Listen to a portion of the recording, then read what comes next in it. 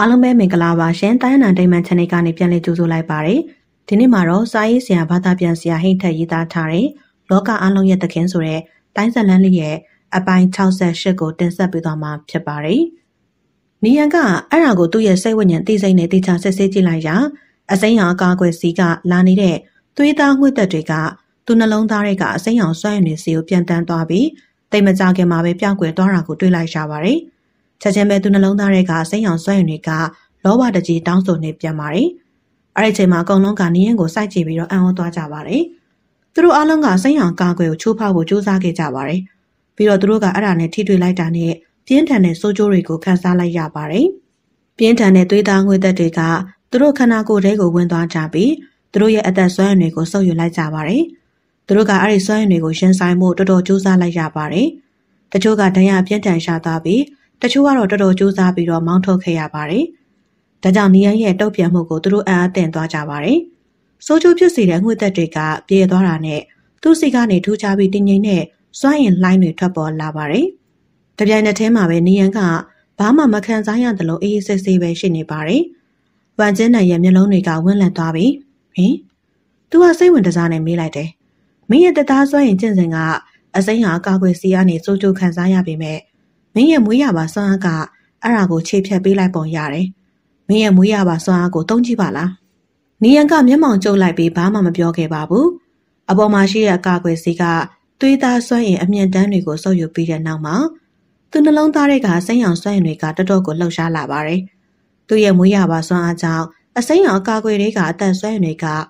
Verity အလုံးတွေကအသက်စွမ်းရင်တွေထက်ဆယ်စားလောက်ပိုပြီးများပြားတာကိုသူသိခွင့်ရခဲ့ပါတယ်။ သူကအသက်ဆွမ်းရင်စုပ်ယူခြင်းအစွမ်းနဲ့အစိမ်းရောင်အကာအကွယ်ဒိတ်ကစွမ်းရင်တွေအားလုံးကိုစုပ်ယူလို့ရပါတယ်။အဲ့ဒါဆိုရင်ဘယ်ရီသီးတွေအားလုံးဒိတ်ကစွမ်းရင်တွေတောင်ပါနိုင်ပါတယ်။ဒါပေမဲ့တကယ်လို့သူသာအဲ့ဒါလိုလုပ်ခဲ့မယ်ဆိုရင်ကံကောင်းမှုတွေအားလုံးကသူတယောက်တည်းပဲရမှာဖြစ်ပြီးဝမ်ကျင်းနံအပါဝင်ကျန်တဲ့သူတွေအားလုံးကလက်ပလာနဲ့ပြန်သွားကြရမှာပါ။သူကခဏကြာစဉ်းစားပြီးအဲ့ဒါလိုမလုပ်ဖို့ဆုံးဖြတ်လိုက်ပါတယ်။အဲ့ဒီအစားအစိမ်းရောင်ကာကွယ်ကိုဖြတ်ခါ ဘယ်ဒီသီးတွေကိုယူပြီးခွဲပေးဖို့ဆုံးဖြတ်လိုက်ပါတယ်။ကျမ်းမြင်ပေါ်ကိုအားနဲ့ကန်လိုက်ရာသူခန္ဓာကိုယ်ကငှက်တကောင်လိုမြှောက်တက်သွားပါတယ်။သူကစိတ်အောင်ကာကွယ်ထိဖို့ပြင်လိုက်တဲ့အချိန်မှာပဲသူ့ရဲ့မွေးရပါစွမ်းအားကရုတ်တရက်အသက်ဝင်လာပြီးသူ့ပက်လယ်မှာတိတ်သေးလာတဲ့သွေးသားစွမ်းရည်တွေရှစ်ပတ်လာပါတယ်။အဲနောက်သူကဓာတ်တစ်ချောင်းလိုအစိမ်းရောင်ကာကွယ်တဲ့ကိုဝင်သွားပါတယ်။အကုန်လုံးကအရန်ကိုအံ့အသင့်သွားကြပါတယ်။သူလုံနိုင်တယ်ဟာ။သူကအကာကွယ်တဲ့ကလွယ်လွယ်လေးဖြတ်သွားနိုင်တယ်။သူ့မှာဘာတားဆီးမှရှိပုံမရဘူး။ သူ့ရဲ့မွေးရပါစွမ်းအခါအဲ့ဒီအကာအကွယ်ဖန်တီးထားတဲ့တိုက်တန်ရဲ့သွေးသားငွေ့သက်တွေနဲ့ကိုက်ညီနေရလားသူကတိုက်တန်တွေရဲ့မွေးရပါစွမ်းကိုတည်ဆောင်ထားတာများလားဒါပေမဲ့တိုက်တန်တွေထဲမှာတော့သူတို့ရဲ့မွေးရပါစွမ်းတွေကမတူညီကြဘူးသူကဒီတိုက်တန်အလောင်းကြီးနဲ့မွေးရပါစွမ်းအားအတူတူပဲဖြစ်နေမလားသူဖြတ်သွားတဲ့အစိမ်းရောင်အကာအကွယ်ပေါ်မှာရက်နေရင်နေရန်ကအသက်ဆွမ်းရင်ဆုပ်ယူခြင်းအစွမ်းကိုမသုံးရင်တော့အကာအကွယ်တွေကအသက်ဆွမ်းရင်တွေကသူ့စီကိုဖြင်းညင်းစွာပေါင်းဆက်လာနေတာကိုနားလည်လိုက်ပါတယ်။ အဲ့ဒါကိုအာယုံခံလိုက်တဲ့အခါသူ့ရဲ့နှလုံးသားထဲကမွေးရပါစွမ်းအားကကျေနပ်နေပါတယ်။ငကုံကထူထဲပြီးမာကြောတဲ့အစိမ်းရောင်အကားကွယ်ကနေရန်သူ့ပေါ်မှာရက်လိုက်တာနဲ့ဖြင်းညံ့စွာပါလာပါတယ်။အဲ့ဒီပြောင်းလဲမှုကအရန်ကိုဖြော့တော်လွန်းတဲ့အတွက်ဘသူမှသတိမထားမိပါဘူး။ဒါပေမဲ့တကယ်လို့သူသားအကားကွယ်ပေါ်မှာဆက်ပြီးရက်နေမယ်ဆိုရင်တိတ်မကြခင်မှာပဲအဲ့ဒါကပါလွာသွားပြီးလုံးဝပျောက်ကွယ်သွားမယ်ဆိုတာနေရန်တေချာသိပါတယ်။ပြဿနာတွေမဖြစ်ဖို့အတွက်နေရန်ကသူ့ရဲ့တူလောင်လက်စွပ်ထဲက ဓာတ်တူတစ်ချောင်းကိုထုတ်ပြီးနေပင်တွေကိုဖြတ်ကာဘယ်ရီသီးတွေကိုယူလိုက်ပါတယ်။ဆယ်စက္ကန့်လောက်အတွင်းမှာပဲသူကကျန်းတဲ့ဘယ်ရီသီး33လုံးကိုယူလိုက်ပါတယ်။အဲနောက်သူကချိန်ဆွဲမနေပဲအစိမ်းရောင်ကာကွယ်ဒိတ်ကနေပြန်တန်းလာပြီးဂူချန်းကင်းပေါ်ကိုဆင်းသက်လိုက်ပါတယ်။သူကဟွမ်ကျင်းနံကိုစိုက်ကြည့်လိုက်ပြီးအကုန်လုံး33လုံးရှိတယ်။ငါတို့ဘလို့ခွဲတင်နေထင်လဲ။ဟွမ်ကျင်းနံကစိတ်တက်တက်ကြွမှုကြောင့်မျက်လုံးတွေကဝင်းလက်တောက်ပလာပြီးပြောလိုက်ပါတယ်။မင်းက73ကိုယူလိုက်လေ။ အဲ့ဒါကမင်းနဲ့မင်းမိတ်ဆွေ၃ယောက်အတွက်မင်းအဲ့ဒါရတဲ့ပါတယ်။ကျန်တဲ့20ကိုငါတို့ဘာသာခွဲလိုက်မယ်။မင်းဘယ်လိုထင်လဲ။နီယန်ကအပြုံးလေးနဲ့ပြောလိုက်တယ်။ကောင်းပြီ။အဲ့နောက်သူကဟွမ်ကျန်းနံကိုဘယ်ရီသီး20ပေးလိုက်တယ်။အဲ့ဒီချိန်မှာပဲဟန်ဆန်းကဝင်လာပြီးပြောလိုက်ပါတယ်။အကူဝမ်သူ့ဘာလို့73ခုတောင်ပေးခဲ့ရလဲ။ကျွန်တော်တို့အားလုံးကြတော့ကျန်တဲ့20ကိုခွဲယူရမှာလား။ဘယ်ရီသီး20ကိုကင်ထားရင်ဟွမ်ကျန်းနံကဟန်ဆန်းကိုမကြည့်တလို့ကြည့်လိုက်ပြီးတော့အပြစ်တင်လိုက်ပါတော့တယ်။ ဘာလို့လဲဆိုတော့သူကအတုံးဝင်ပြီးမင်းကအတုံးမဝင်ဘူးသူကအခြားမျိုးနယ်အများစုကိုတက်ပြစ်ခဲ့ပြီးအဲ့ဒီဘယ်ရီသီးတွေကိုရအောင်ယူပေးခဲ့တယ်အလုံး20ထဲမှာငါရှစ်လုံးယူမယ်ဟန်ဆန်မင်းကတလုံးပဲရမယ်တခြားသူတွေကကြံ့နာခွဲလိုက်မယ်ဟန်ဆန်းကအဲ့ဒီအစီအစဉ်ကိုသဘောမကျပါဘူးဒါပေမဲ့ဟွမ်ကျန်းနန်ကသူ့သဘောထားကိုလုံးဝလစ်လူရှုထားပါတယ်သူကဟန်ဆန်းကိုဘယ်ရီတီတလုံးပြစ်ပေးလိုက်ပြီးကျန်တဲ့ဘယ်ရီတီတွေကိုခေါင်းဆောင်ငယ်လေးတွေကိုပေးလိုက်ပါတယ်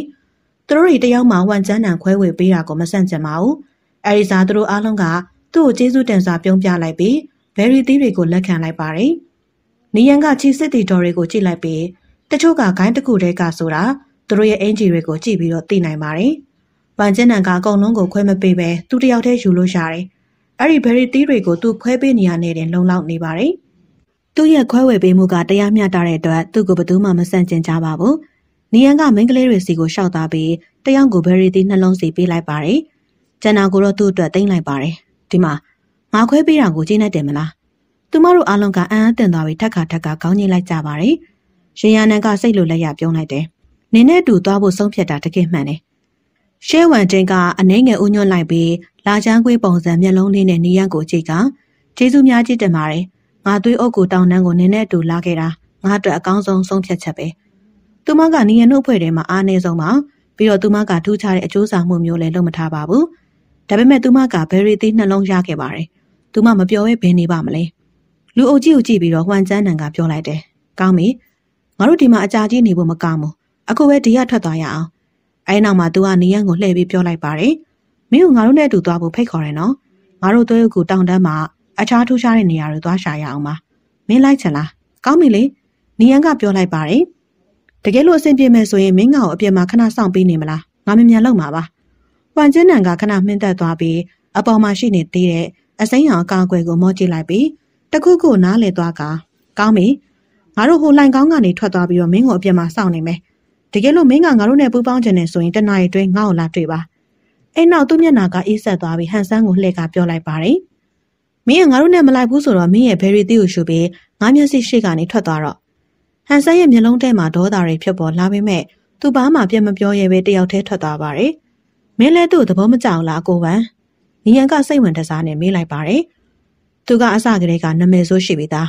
ပြီးတော့သူကသွေးအုပ်ကိုတောင်တန်းမှာထောင်ချောက်ဆင်ပြီးခြေစစ်တီတော်အုပ်စုနှစ်ခုကိုတက်ပြက်ခဲ့တယ်။ပြီးတော့အဲ့ဒီထဲမှာတစ်ဖွဲ့ကငါးနဲ့တည်တယ်။တကယ်လို့သူသားဒီမှာတခြားမျိုးနယ်တွေနဲ့အချိန်မီလာမတိုက်ခိုက်ဘူးဆိုရင်ငါသူ့ကိုပူပေါင်းဖို့ခွင့်ပေးမှာမဟုတ်ဘူး။မင်းသူ့ကိုတတိထားတာပိုကောင်းမယ်။ငါတီးတလောက်ကတော့သူကပြန်လှည့်လာပြီးမင်းရဲ့ဘယ်ရီသီးတွေကိုယူဖို့စူးစမ်းလိုက်မယ်။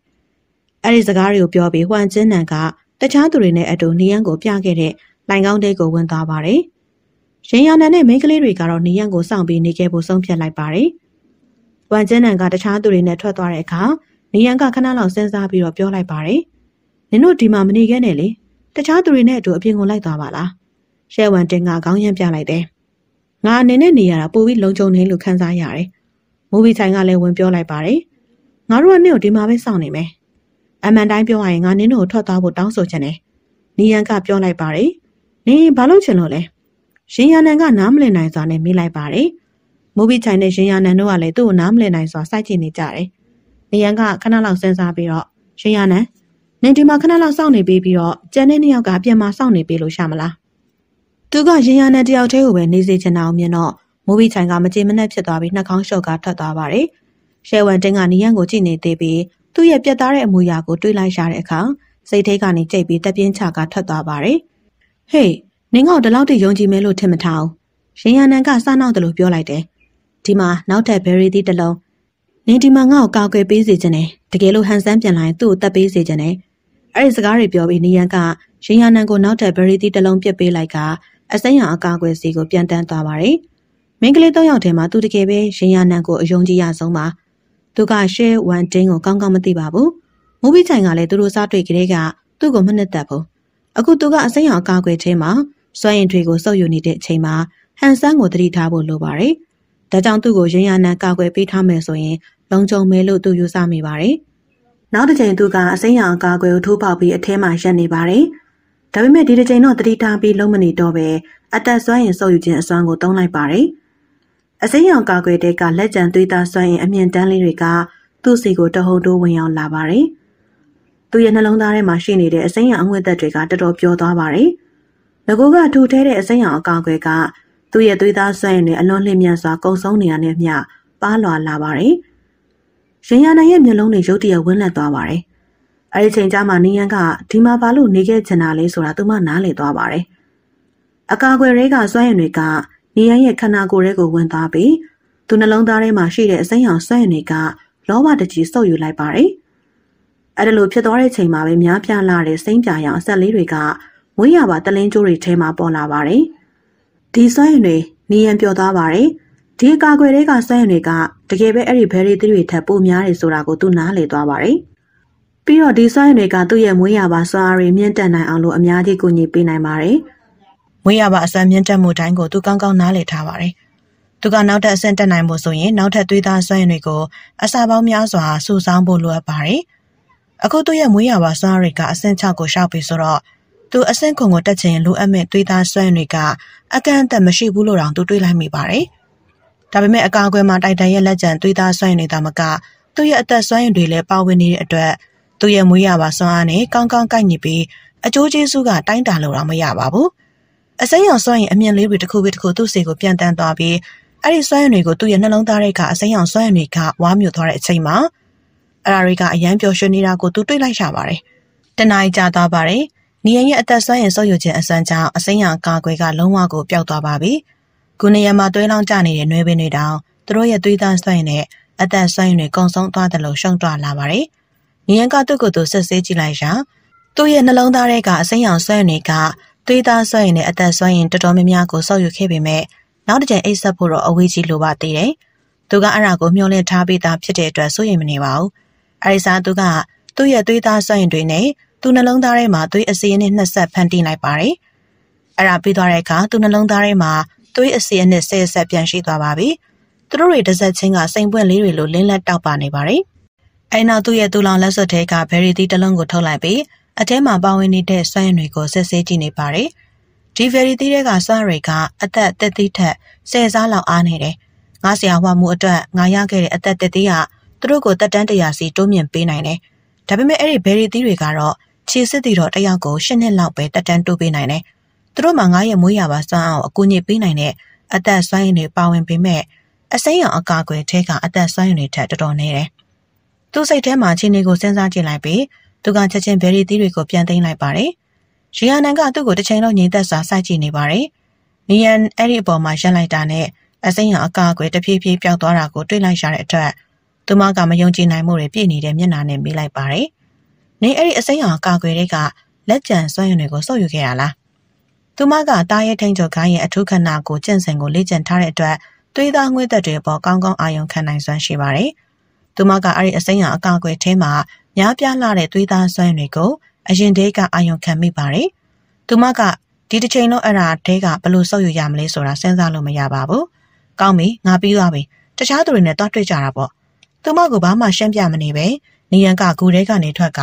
လှိုင်ကောင်းတွေကနေတဆင့်ဝမ်ကျင်းနန်နဲ့တခြားသူတွေစီကိုထွက်သွားလိုက်ပါတယ်။ရေယန်နန်ကတော်တော်အံ့ဩသွားပြီးစိတ်ထဲကနေပြောလိုက်ပါတယ်။အမြဲတမ်းထူးဆန်းတဲ့အရာတွေလုပ်တယ်။သူ့ရဲ့မွေးရပါစွမ်းအားကဘယ်လိုမျိုးလဲ။ ငါရဲ့ရေခဲသွေးစပတ်အုံးဝင်နဲ့ဟိုမိန်းကလေးရဲ့နှဆိုးပန်းပွင့်တွေကသူ့ကိုအရန်လိုချင်နေကြတယ်။သူကတက်ပင်မျိုးနွယ်တွေရဲ့မှော်လက်နက်ကိုကိုင်နိုင်ပြီးတိုင်တန်ရဲ့လက်ကျန်စွမ်းအားတွေကိုလည်းစုပ်ယူနိုင်ပါတယ်။သူ့ရဲ့မွေးရပါစွမ်းအားကဘယ်လိုမျိုးလဲ။သူမကစိတ်ထဲမှာအတင်းစဉ်းစားနေပေမဲ့အဖြေကိုရှာမရပါဘူး။ဒါကြောင့်တပြင်းချပြီးနေရနောက်ကနေလိုက်ကဂူရဲကနေထွက်သွားပါတယ်။သူတို့ထွက်သွားပြီး15မိနစ်လောက်ကြာတဲ့အခါတပယ်မျိုးနယ်ဖာတာကဒီနေရာကိုသူ့ဘာသာသူရောက်လာပါတယ်။ ဘယ်ရီသီးတွေနဲ့စိမ့်အောင်ကောက်ွယ်မရှိတော့တဲ့ဂူလွတ်ကြီးထဲမှာရက်နေရှင်ဒီမှာဘာမှမရှိတော့ဘူး။တယောက်ယောက်ကတော့တိုက်တန်ရဲ့လက်ကျန်သွေးသားစွမ်းရင်အသီးတွေကိုရှူသွားပြီးဘသူကတလောက်ကန်ကောင်းတာလဲ။သူ့မျက်နှာပေါ်မှာစိတ်သက်ကြမှုတွေပေါ်လာပါတယ်။အဲနောက်သူကဂူကိုခဏကြာဆက်ဆဲပြီးတခြားမျိုးနယ်တွေနဲ့လူသားတွေရဲ့အလောင်းတွေကိုရှာတွေ့လိုက်ပါတယ်။ဘာမှမရတဲ့အတွက်သူကစိတ်တက်ကြစွာရေရွတ်လိုက်ပြီး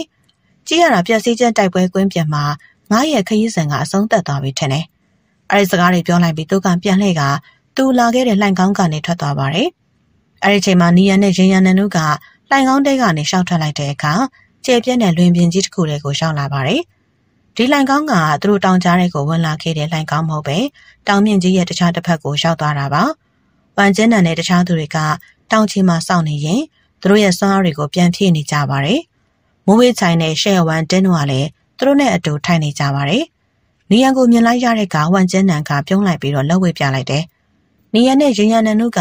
ပွန်ကျင်းနန်နဲ့တခြားသူတွေရှိတဲ့နေရာကိုလှမ်းကြည့်လိုက်ပါတယ်။အဆင်ပြေလားနောက်ထပ်ရခဲ့သေးလား။ပွန်ကျင်းနန်ကပြုံးလေးနဲ့မေးလိုက်ပါတယ်။နီယန်ကဘာမှမပြောဘဲခေါင်းညိတ်ပြလိုက်ပါတယ်။အဲ့ဒါကိုမြင်တော့အသေးစိတ်မမေးတော့ဘဲပွန်ကျင်းနန်ကပြောလိုက်တယ်။နောက်တနေရာကိုသွားကြည့်ကြစို့။အဲ့ဒီနေရာမှာကပန်းစိန်ရတနာတွေတောင်ရှိမှသိကြတယ်။ငါတို့ကတခြားမျိုးနယ်တွေနဲ့ထပ်တွေ့ရအောင်မှသိကြတယ်။အဲ့ဒါလို့ဆိုရင်ငါတို့ရတာတွေကိုအကျိုးဆောင်မှုအလိုက်ခွဲကြတာပေါ့။အတူတူတိုက်ခိုက်မှုတဲ့အတွက် နီယန်ကဟွမ်ကျင်းနန်ပေါ်အကောင်းမြင်စိတ်ရှိပါတယ်။အခုအဲ့ဒီမှာကဘာစိတ်ယတနာတွေရှိတယ်ဆိုတာကိုသိလိုက်ရတဲ့အခါသူတော်တော်စိတ်ဝင်စားသွားပြီးချက်ချင်းပူပေါင်းမှုသဘောတူလိုက်ပါတယ်။ဟွမ်ကျင်းနန်မိတ်ပေးလိုက်တဲ့အခါချီစစ်တီတော်တွေအားလုံးမတက်ရက်လိုက်ကြပါတယ်။သူတို့ကလီယာနဲ့ခီးသွွားရှင်တွေတစ်ခုပြီးတစ်ခုထုတ်လိုက်ကြပါတယ်။ရွှေရောင်တွေလင်းလက်တောက်ပနေတဲ့စစ်ရထားတစည်းပေါ်မှာရက်နေရှင်သူကခဏလောက်တွေးကနေရန်ကိုပြောလိုက်တယ်။မင်းအဆင်ပြေမယ်ဆိုရင်ငါနဲ့လာစီးလို့ရတယ်။ တခြားသူတွေကသူတို့ရဲ့လေယာဉ်နဲ့ခီးသွွားရှင်တွေပေါ်ကိုပြန်တက်သွားတဲ့အခါရဲဝမ်တင်းကသူမရဲ့လေယာဉ်နဲ့ခီးသွွားရှင်ကိုထုတ်လိုက်ပြီးမိုးဘေးတိုင်တို့ရေယာနန်တို့နဲ့အတူခုန်တက်သွားပါတယ်။ပန်ကျင်းနန်ရဲ့လေယာဉ်နဲ့ခီးသွွားရှင်ကအရန်ကိုထူးခြားပါတယ်။များပြားလွန်းလာတဲ့ရွှေရောင်နက်ဖျားတင်ကေတတွေကအဲ့ဒီအပေါ်မှာထွန်းထိုးထားပါတယ်။သူတို့ကရန်သူတွေရဲ့တိုက်ခိုက်မှုတွေကိုခုခံနိုင်ပုံရပါတယ်။ကြီးရတာအရာကနေရန်ရဲ့ကြိတ်လီနဲ့အဆင့်တူလောက်ရှိပါတယ်။အဲ့ဒီချိန်မှာရှဲဝမ်တင်းကနေရန်ကိုစိုက်ကြည့်နေပြီး နီယန်နဲ့လိုက်ချင်နေပုံရပါတယ်။ဒါပေမဲ့နီယန်ကတိကျစဉ်းစားလိုက်ပြီးသူမရဲ့အကြည့်တွေကိုရှောင်နေပါတယ်။အဲဒီစားသူကဝမ်ကျင်းနန်ရဲ့စစ်ရထားစီကိုပြန်တန်းသွားပြီးပြောလိုက်ပါတယ်။ငါမှမင်းကိုမေးစရာရှိနေတယ်။ရှေးအောင်ကျဲပိုင်းစာနန်းတော်ကြောင်းလား။ဝမ်ကျင်းနန်ကပြုံးပြီးတော့မေးလိုက်တယ်။အတိအကျပဲပေါ့။ကောင်းပြီ။ငါသိတဲ့လောက်ပြောပြမယ်။ကျေးဇူးများကြီးတင်ပါတယ်။လေယာဉ်နဲ့ခီးသွားရှင်တွေတစ်ခုပြီးတစ်ခုပြန်တန်းသွားပြီးဝမ်ကျင်းနန်ရဲ့စစ်ရထားနောက်ကနေလိုက်သွားကြပါတယ်။ ဒါပေမဲ့နီယန်ကတော့ဝမ်ကျင်းနန်ကို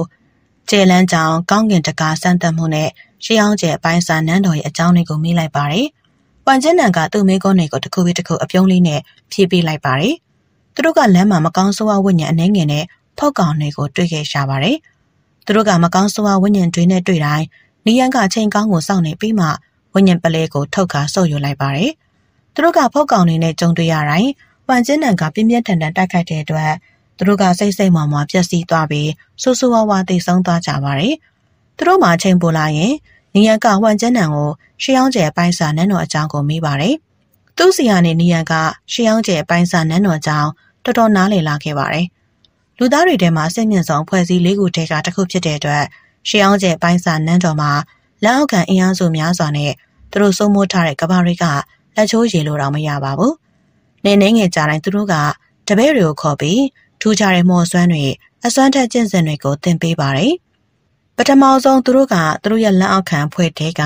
ထူးချွန်တဲ့လူငယ်လေးတွေကိုရွေးချယ်ကြပါတယ်။သူတို့တွေတပည့်ခေါ်တိုင်းအစင်းမြင့်လူခေါ်ပွဲတစ်ခုကျင်းပပါတယ်။အဲဒီပွဲကိုလူငယ်တွေတောင်းနဲ့ချီပြီးပါဝင်ရှင်ပြိုင်ကြပါတယ်။ဒါပေမဲ့သူတို့ထဲကအနေငယ်လောက်ပဲသူတို့ရဲ့စမ်းသပ်မှုတွေကိုအောင်မြင်ပြီးသူတို့ရဲ့တပည့်ဖြစ်ကြပါတယ်။ရှေးအောင်ကျဲအပိုင်းစာနန်းတော်ကလူခေါ်ပွဲတိုင်းမှာတပည့်မြောင်များစွာခေါ်ပေမဲ့ သူတို့ရဲ့ထဲကအနေငယ်လောက်ပဲတပြေးပြေးမြင့်တက်လာပြီးကျင်းမင်းသားတွေဖြစ်ကြပါတယ်။တခါတရံလူခေါ်ပွဲအချိန်မောင်းများစွာလောက်တာတောင်ရှေးအောင်ကျယ်အပိုင်းစာနန်းတော်ရဲ့ပါလီမန်အကြီးအကဲတွေအတိမတ်ပြုခံရတဲ့လူငယ်တယောက်မှပေါ်မလာပါဘူး။အဲ့ဒါကရှေးအောင်ကျယ်အပိုင်းစာနန်းတော်ရဲ့တပည့်ခေါ်တဲ့နီးစနစ်တစ်ခုပါ။တခြားနီးလန်းကကျဲမင်းသားကိုဓာတ်ရိုက်ရွေးချယ်တာပါ။လွန်ခဲ့တဲ့နှစ်တန်းပေါင်းများစွာတွင်ရှေးအောင်ကျယ်အပိုင်းစာနန်းတော်ကကဘာရီများစွာကိုတိုက်ခိုက်သိမ်းပိုက်ထားပါတယ်။ ဘာကြောင့်မှမသိပဲသူတို့ကအဲ့ဒီကဘာတွေတဲကတချို့ကိုတွားရောက်ခြင်းမရှိဘူး။ဒါပေမဲ့အဲ့ဒီတဲကကဘာတချို့ကသူတို့အတွက်တော်တော်အရေးကြီးပါတယ်။ပြီးတော့သူတို့မှအဲ့ဒီကဘာတွေအတွက်တခြားအစီအစဉ်တွေရှိတယ်လို့ပါပဲ။တချို့ထူးခြားတဲ့ကဘာတွေကအလုံးအမင်းကိုထူးချွန်လွန်းတဲ့သူတွေပေါ်ထွက်လာတယ်ဆိုတာသူတို့သိကြပါတယ်။ဒါကြောင့်သူတို့ကအဲ့ဒီကဘာတွေမှာကောင်းငင်တကားတွေကိုဖွင့်ပေးကြပါတယ်။အဲ့ဒီကောင်းငင်တကားတွေကဆယ်စုနှစ်အနည်းငယ်ဒါမှမဟုတ်ရာစုနှစ်အနည်းငယ်ကြာတိုင်းပွင့်လာပါတယ်။ ကောင်းကင်တကားထဲမှာဆင်းမြတ်နန်းတော်ကြီးကိုရောက်ပြီးကျဲပိုင်းစာအမှတ်တွေအလုံးကိုစုဆောင်းကပေါင်းစည်းနိုင်တဲ့သူတွေကရှီအောင်ကျဲပိုင်းစာနန်းတော်ရဲ့တာမန်တပည့်တွေလို့မဟုတ်ပဲကျဲမင်းသားချက်ချင်းဖြစ်သွားပါတယ်။အခုရှီအောင်ကျဲပိုင်းစာနန်းတော်မှာကျဲမင်းသားစုစုပေါင်း9ယောက်ရှိပါတယ်။သူတို့ထဲက9ယောက်ကပထမနီးလန်းနဲ့သူတို့ရဲ့လက်ရှိနေရာကိုရောက်လာတာပါ။သူတို့ကရွေးချယ်မှုအချိန်မောင်းများစွာလုပ်ပြီးမှဒီနေရာကိုရောက်လာတာပါ။ နေရနဲ့တခြားတစ်ယောက်ပဲကောင်းငင်တကာဆန်းသက်မှုကိုဖျက်ကျော်ပြီးကျဲအပိုင်းစာအမှတ်၃ခုကိုပေါင်းစည်းကကျဲမင်းသားတစ်ယောက်ဖြစ်လာတာပါသူတို့ဘလို့နီးလန်းကိုတုံးပြီးကျဲမင်းသားဖြစ်လာပါစေသူတို့ရဲ့အနာဂတ်လမ်းကြောင်းကအခက်အခဲတွေအန္တရာယ်တွေနဲ့ပြည့်နှက်နေပါတယ်။ပါလီမန်ကြီးကဲတွေရဲ့ရွေးချယ်မှုနဲ့ကျယ်မင်းသားဖြစ်ခဲ့တဲ့ပထမဆုံးတစ်ယောက်ဆိုရင်အသက်ငယ်ငယ်လေးကလေးကတခြားမျိုးနွယ်တွေကိုတိုက်ခိုက်ရပါတယ်။လူသားတွေနဲ့တခြားမျိုးနွယ်တွေရဲ့တိုက်ပွဲကရပ်တန့်ခြင်းမရှိပါဘူး။ကျယ်မင်းသားတွေကကဘာများစွာမှာ တခြားမျိုးနွယ်တွေကိုတိုက်ခိုက်ဖို့ရှေ့တန်းတက်မှုတွေဖြစ်ဆေးလွတ်ခြင်းခံရပါတယ်။ဒါကြောင့်သူတို့တွေတော်တော်များများကတခြားမျိုးနွယ်တွေရဲ့လက်ထဲမှာတိတ်ဆုံးခဲ့ကြပါတယ်။ကောင်းကင်တကာစမ်းသပ်မှုကိုကြောဖြတ်လာခဲ့တဲ့ကျယ်မင်းသားမျိုးကတော့တခြားအန္တရာယ်ရှိတဲ့စမ်းသပ်မှုမျိုးစုံကိုကြောဖြတ်ပြီးမှကျယ်လန်းချောင်းပြီးဆုံးပါတယ်။ရှေးအောင်ကျယ်အပိုင်းစာနန်းတော်ကသူတို့တွေရှေးအောင်ကျယ်အပိုင်းစာနန်းတော်ကိုရောက်လာတဲ့နေရာမှာကူညီပေးဖို့အစီအစဉ်တွေလည်းများစွာစီစဉ်ထားခဲ့ပါတယ်။ဒါပေမဲ့သူတို့ကနီးလန်းညွှန်ပြတာတွေ အကူအညီပေးတာမျိုးတော့မလုပ်ပါဘူး။အဲဒီစားသူတို့ကသူတို့ကိုယ်တိုင်ကာကွယ်နိုင်အောင်ပဲထားပါတယ်။ပြီးတော့သူတို့ကရှေးဟောင်းကျဲအပိုင်းစာနန်းတော်ကိုသွားဖို့လမ်းစာရှာရင်သူတို့ရဲ့စွမ်းအားတွေကိုတိစောက်ကြရပါတယ်။သူတို့ရဲ့ကျင့်စဉ်စင်တွေစိတ်နေသဘောထားတွေနဲ့တင်ယူနိုင်စွမ်းတွေကအဆင့်တစ်ခုအထိရောက်ပြီးဆိုမှသူတို့ကဝင်ခွင့်ရကြပါတယ်။ဒါပေမဲ့သူတို့ပြန်ရောက်လာရင်လေဂျိမ်းမင်းသားတွေကစွမ်းပင်အထောက်ပံ့မျိုးစုံရကြပါတယ်။အဲ့ဒီချိန်မှာသူတို့တွေကြားထဲမှာပြန်ဆိုင်မှုတွေရှိလာပြီး သူတို့တွေထဲကတယောက်ပဲခြေသခင်ပြက်ခွင့်ရမှာပါသူတို့တွေထဲကတယောက်ကမရေမတွက်နိုင်တဲ့စမ်းသပ်မှုတွေကိုစမ်းသပ်ပြီးခြေသခင်အစ်စ်ဖြစ်လာတာနဲ့သူတို့မျိုးဆက်ဂျိမင်းသားဂျိမင်းသမီးတွေအားလုံးခြေသခင်ကိုကူညီဖို့ပါလီမန်အကြီးအကဲဖြစ်တာဝန်ယူရပါတယ်လက်ရှိကျဲသခင်တောင်အဲ့ဒီအဆင့်တွေကိုတက်လန့်ပြီးမြင့်တက်လာတာပါ။ပွန်ကျင်းတန်ပြောတာအရဆိုရင်ရှေးအောင်ကျဲအပိုင်းစာနန်းတော်ရဲ့လက်ရှိကျဲသခင်ကအထွတ်ထိပ်နတ်ဖျားအဆင့်ကိုရှောင်နေပြီ ပြီးတော့သူကသူ့နေရာကိုထိန်းထားနိုင်တာနှစ်ပေါင်း9000လောက်ရှိပါပြီ။ဒါပေမဲ့သူကအရန်စွမ်းထက်တဲ့အတွက်သူ့ရဲ့တက်တန်ကအကန့်အသတ်မရှိပါဘူး။သူကတိတ်မကြခင်တက်တန်းကုန်တော်မယ်လို့တောင်ကောလာဟလာတွေထွက်နေပါတယ်။သူတည်တော်မယ်ဆိုရင်ရှေးအောင်ကျဲပိုင်းစာနန်းတော်ကလက်ရှိကျဲမင်းသား9ယောက်ထဲကကျဲအစ်စ်ကိုရွေးချယ်ကြလိုက်မယ်။နီယန်ကအပြတ်မေးလိုက်ပါတယ်။လက်ဖျားစစ်ပညာရှင်တွေတောင်တက်တန်းပြဿနာနဲ့ကြုံရသေးတယ်လား။ပွန်ကျန်းနံကတက်ပြင်းချလိုက်တယ်။ဘသူမှမသိမျိုးမဟုတ်ဘူး လူသားတွေရောတခြားမျိုးနွယ်တွေရောအတူတူပဲအခြားမျိုးနွယ်တွေနဲ့ရှေးဟောင်းဝိညာဉ်တွေကလူသားတွေထပ်ပိုပြီးတက်တန်းပိုရှိတာပဲရှိတယ်သူတို့ထက်ကတချို့ကနှစ်တန်းလောက်ထိအသက်ရှင်နိုင်ကြတယ်သူတို့ကအစွမ်းထက်ကြပေမဲ့သူတို့လည်းသွေးတန်းဆွဲတွေကုံဆုံးပြီးတော့တည်သွားကြတာပဲငါတို့လည်းအတူတူပဲမြေကမာစင့်ကိုမရောက်ခင်မှာလူသားချီစစ်တေတော်တွေကစိတ်ဝိညာဉ်တွေမဖွဲ့စည်းရသေးဘူးဒါကြောင့်နောက်ထပ်တက်တန်းအပူမရကြပါဘူးသူတို့ရဲ့တက်တန်းကနှစ်ပေါင်း200ပဲရှိပါတယ် မြေကဘာဆင့်ကိုရောက်ပြီဆိုရင်သူတို့ရဲ့တက်တန်းကနှစ်900လောက်အထိတိုးသွားတယ်။တကုရှင်အဆင့်ပညာရှင်ကတော့နှစ်ပေါင်း1000ရှင်းတတ်နိုင်ပါတယ်။စိတ်ဝိညာဉ်ဆင့်ပညာရှင်တွေကတော့နှစ်ပေါင်း3000လောက်အထိရှင်းတတ်နိုင်တယ်။စကြဝဠာအဆင့်ကြတော့မိုးနဲ့မြေလိုကွာခြားသွားပြီ။သူတို့ကနှစ်ပေါင်း3သိန်းအထိရှင်းတတ်နိုင်ပါတယ်။သူတော်စင်အဆင့်ကြံ့ကြံ့သူရဲ့တက်တန်းကနှစ်ပေါင်း3သိန်းအထိရှင်းတတ်နိုင်တယ်။နဖျားဆင့်ကြံ့ကြံ့သူတွေကနှစ်ပေါင်း8သိန်းအထိအသက်ရှင်နိုင်တယ် အဲဒီစကားတွေပြောပြီးဝမ်ကျင်းနန်ကနောက်ထပ်တစ်ချိန်တက်ပြင်းချလိုက်တယ်။ဒါပေမဲ့နက်ဖျားဆန်လူသားတွေရဲ့တက်တန်းကတော့တခြားမျိုးနယ်ပညာရှင်တွေရဲ့တက်တန်းထက်အများကြီးပိုတိုပါတယ်။တခြားမျိုးနယ်ဧကရစ်တွေကနှစ်ပေါင်းသိမ့်ချီပြီးအလွယ်တကူနေနိုင်ကြပါတယ်။တချို့ကတော့နှစ်ပေါင်းတသန်းလောက်အထိတောင်နေနိုင်ကြတယ်။ဒါကလူသားတွေမရနိုင်တဲ့အခြေအနေပဲ။တိုက်တန်တွေနဲ့ရှေးအောင်မော်သားရဲတွေကတခြားမျိုးနွယ်တွေထပ်ပို့ပြီးတော့အသက်ရှည်ကြတယ်။ပြီးတော့သူတို့ကတက်တန်းအပူရဖို့ဘာမှစူးစမ်းစရာမလိုဘူး။ သူတို့ကတက်တန်အရှိကြီးနဲ့မွေးဖွားလာကြပြီးသူတို့မတည်သေး၍သူတို့ရဲ့မွေးရပါစွမ်းအားကတဖြည်းဖြည်းအဆင့်မြင့်လာကြပါတယ်။သူတို့ကမွေးရပါစွမ်းအားမြင့်မြတ်အဆင့်မမြင့်လို့စောစောတည်မဲ့ပြဿနာမရှိပါဘူး။ဒါပေမဲ့လူသားတွေကတော့တက်တန်ပြဿနာကိုရင်ဆိုင်ရတာပုံမှန်လိုဖြစ်နေပါပြီ။ဒါကြောင့်ငါတို့ကအကောင်းဆုံးကြိုးစားပြီးကျင့်စဉ်တွေမြင့်တက်အောင်စွမ်းအားတွေစုဆောင်းရတယ်။ဒါပေမဲ့အဲ့ဒါကြောင့်ပဲလူသားတွေရဲ့တိုးတက်မှုနှုန်းကတခြားမျိုးနွယ်တွေနဲ့ရှေးဟောင်းဝိညာဉ်တွေထပ်ပိုပြီးတော့မြန်တာ။ ငါတို့ကစွမ်းအားအထွတ်ထိပ်ကိုရှောက်ဖို့လွယ်တယ်။ဒါပေမဲ့ငါတို့ရဲ့တက်တန်းတွေကုံသွားပြီးတည်သွားဖို့ကပိုတောင်လွယ်သေးတယ်။ငါတို့လိုမဟုတ်ပဲရှေးဟောင်းဝိညာဉ်တွေနဲ့တခြားမျိုးနွယ်တွေကတော့အချိန်ယူပြီးမွေးရပါစွမ်းအားတွေကိုဆင်းမြင့်လို့ရတယ်။ဒါကြောင့်ရှေးဟောင်းဝိညာဉ်တွေနဲ့တခြားမျိုးနွယ်တွေအတွက်နှစ်တသိန်းလောက်ကဘာမှမဟုတ်ဘူး။နေရန်ကစိတ်ဝင်တစားနေမိလိုက်တယ်။မင်းကတကြီးငါးပါးခိုင်းရဲ့တက်ထုနေမြေကနှက်ဖျားသားတော့ပဲ။ဒါပေမဲ့ငါအနေနဲ့ကြည့်ရတာမင်းကမင်းရဲ့အဆင့်တန်းအတွက်အရန်အသက်ငယ်သေးရဲ့ ပြီးတော့မင်းရဲ့ကျင့်စဉ်ကလည်းအရန်ကြောက်ဖို့မကောင်းသေးဘူး။ပန်ကျင်းနံကမျက်နှာပြတ်သွားပြီ။ငါကငါတို့ကိုင်းမှာရှိရဲ့နှစ်ပြားသားတော်သမီးတော်တွေထဲမှာစွမ်းအားအနှိမ်ဆုံးပဲ။ပြီးတော့ငါ့ကိုတိတ်မကြခင်တုန်းကမှနှစ်ပြားသားတော်ဖြစ်ရွေးချယ်ခဲ့တာ။တတုနေမီရဲ့အရင်နှစ်ပြားသားတော်က။ချောင်ကြားတဲ့ကဘာတစ်ခုမှတိုက်ခိုက်ရင်တည်ဆုံးသွားခဲ့တယ်။သူကသူတည်သွားတဲ့ချိန်မှာစัจ java အဆင့်ကိုရှောက်ဖို့တဆင့်ပဲလိုတော့တယ်။အဲ့ဒါတော်တော်ဝမ်းနည်းစရာပဲ။သူတည်သွားတဲ့အတွက်သာငါကသူ့နေရာအတွက်ရွေးချယ်ခံရတာ။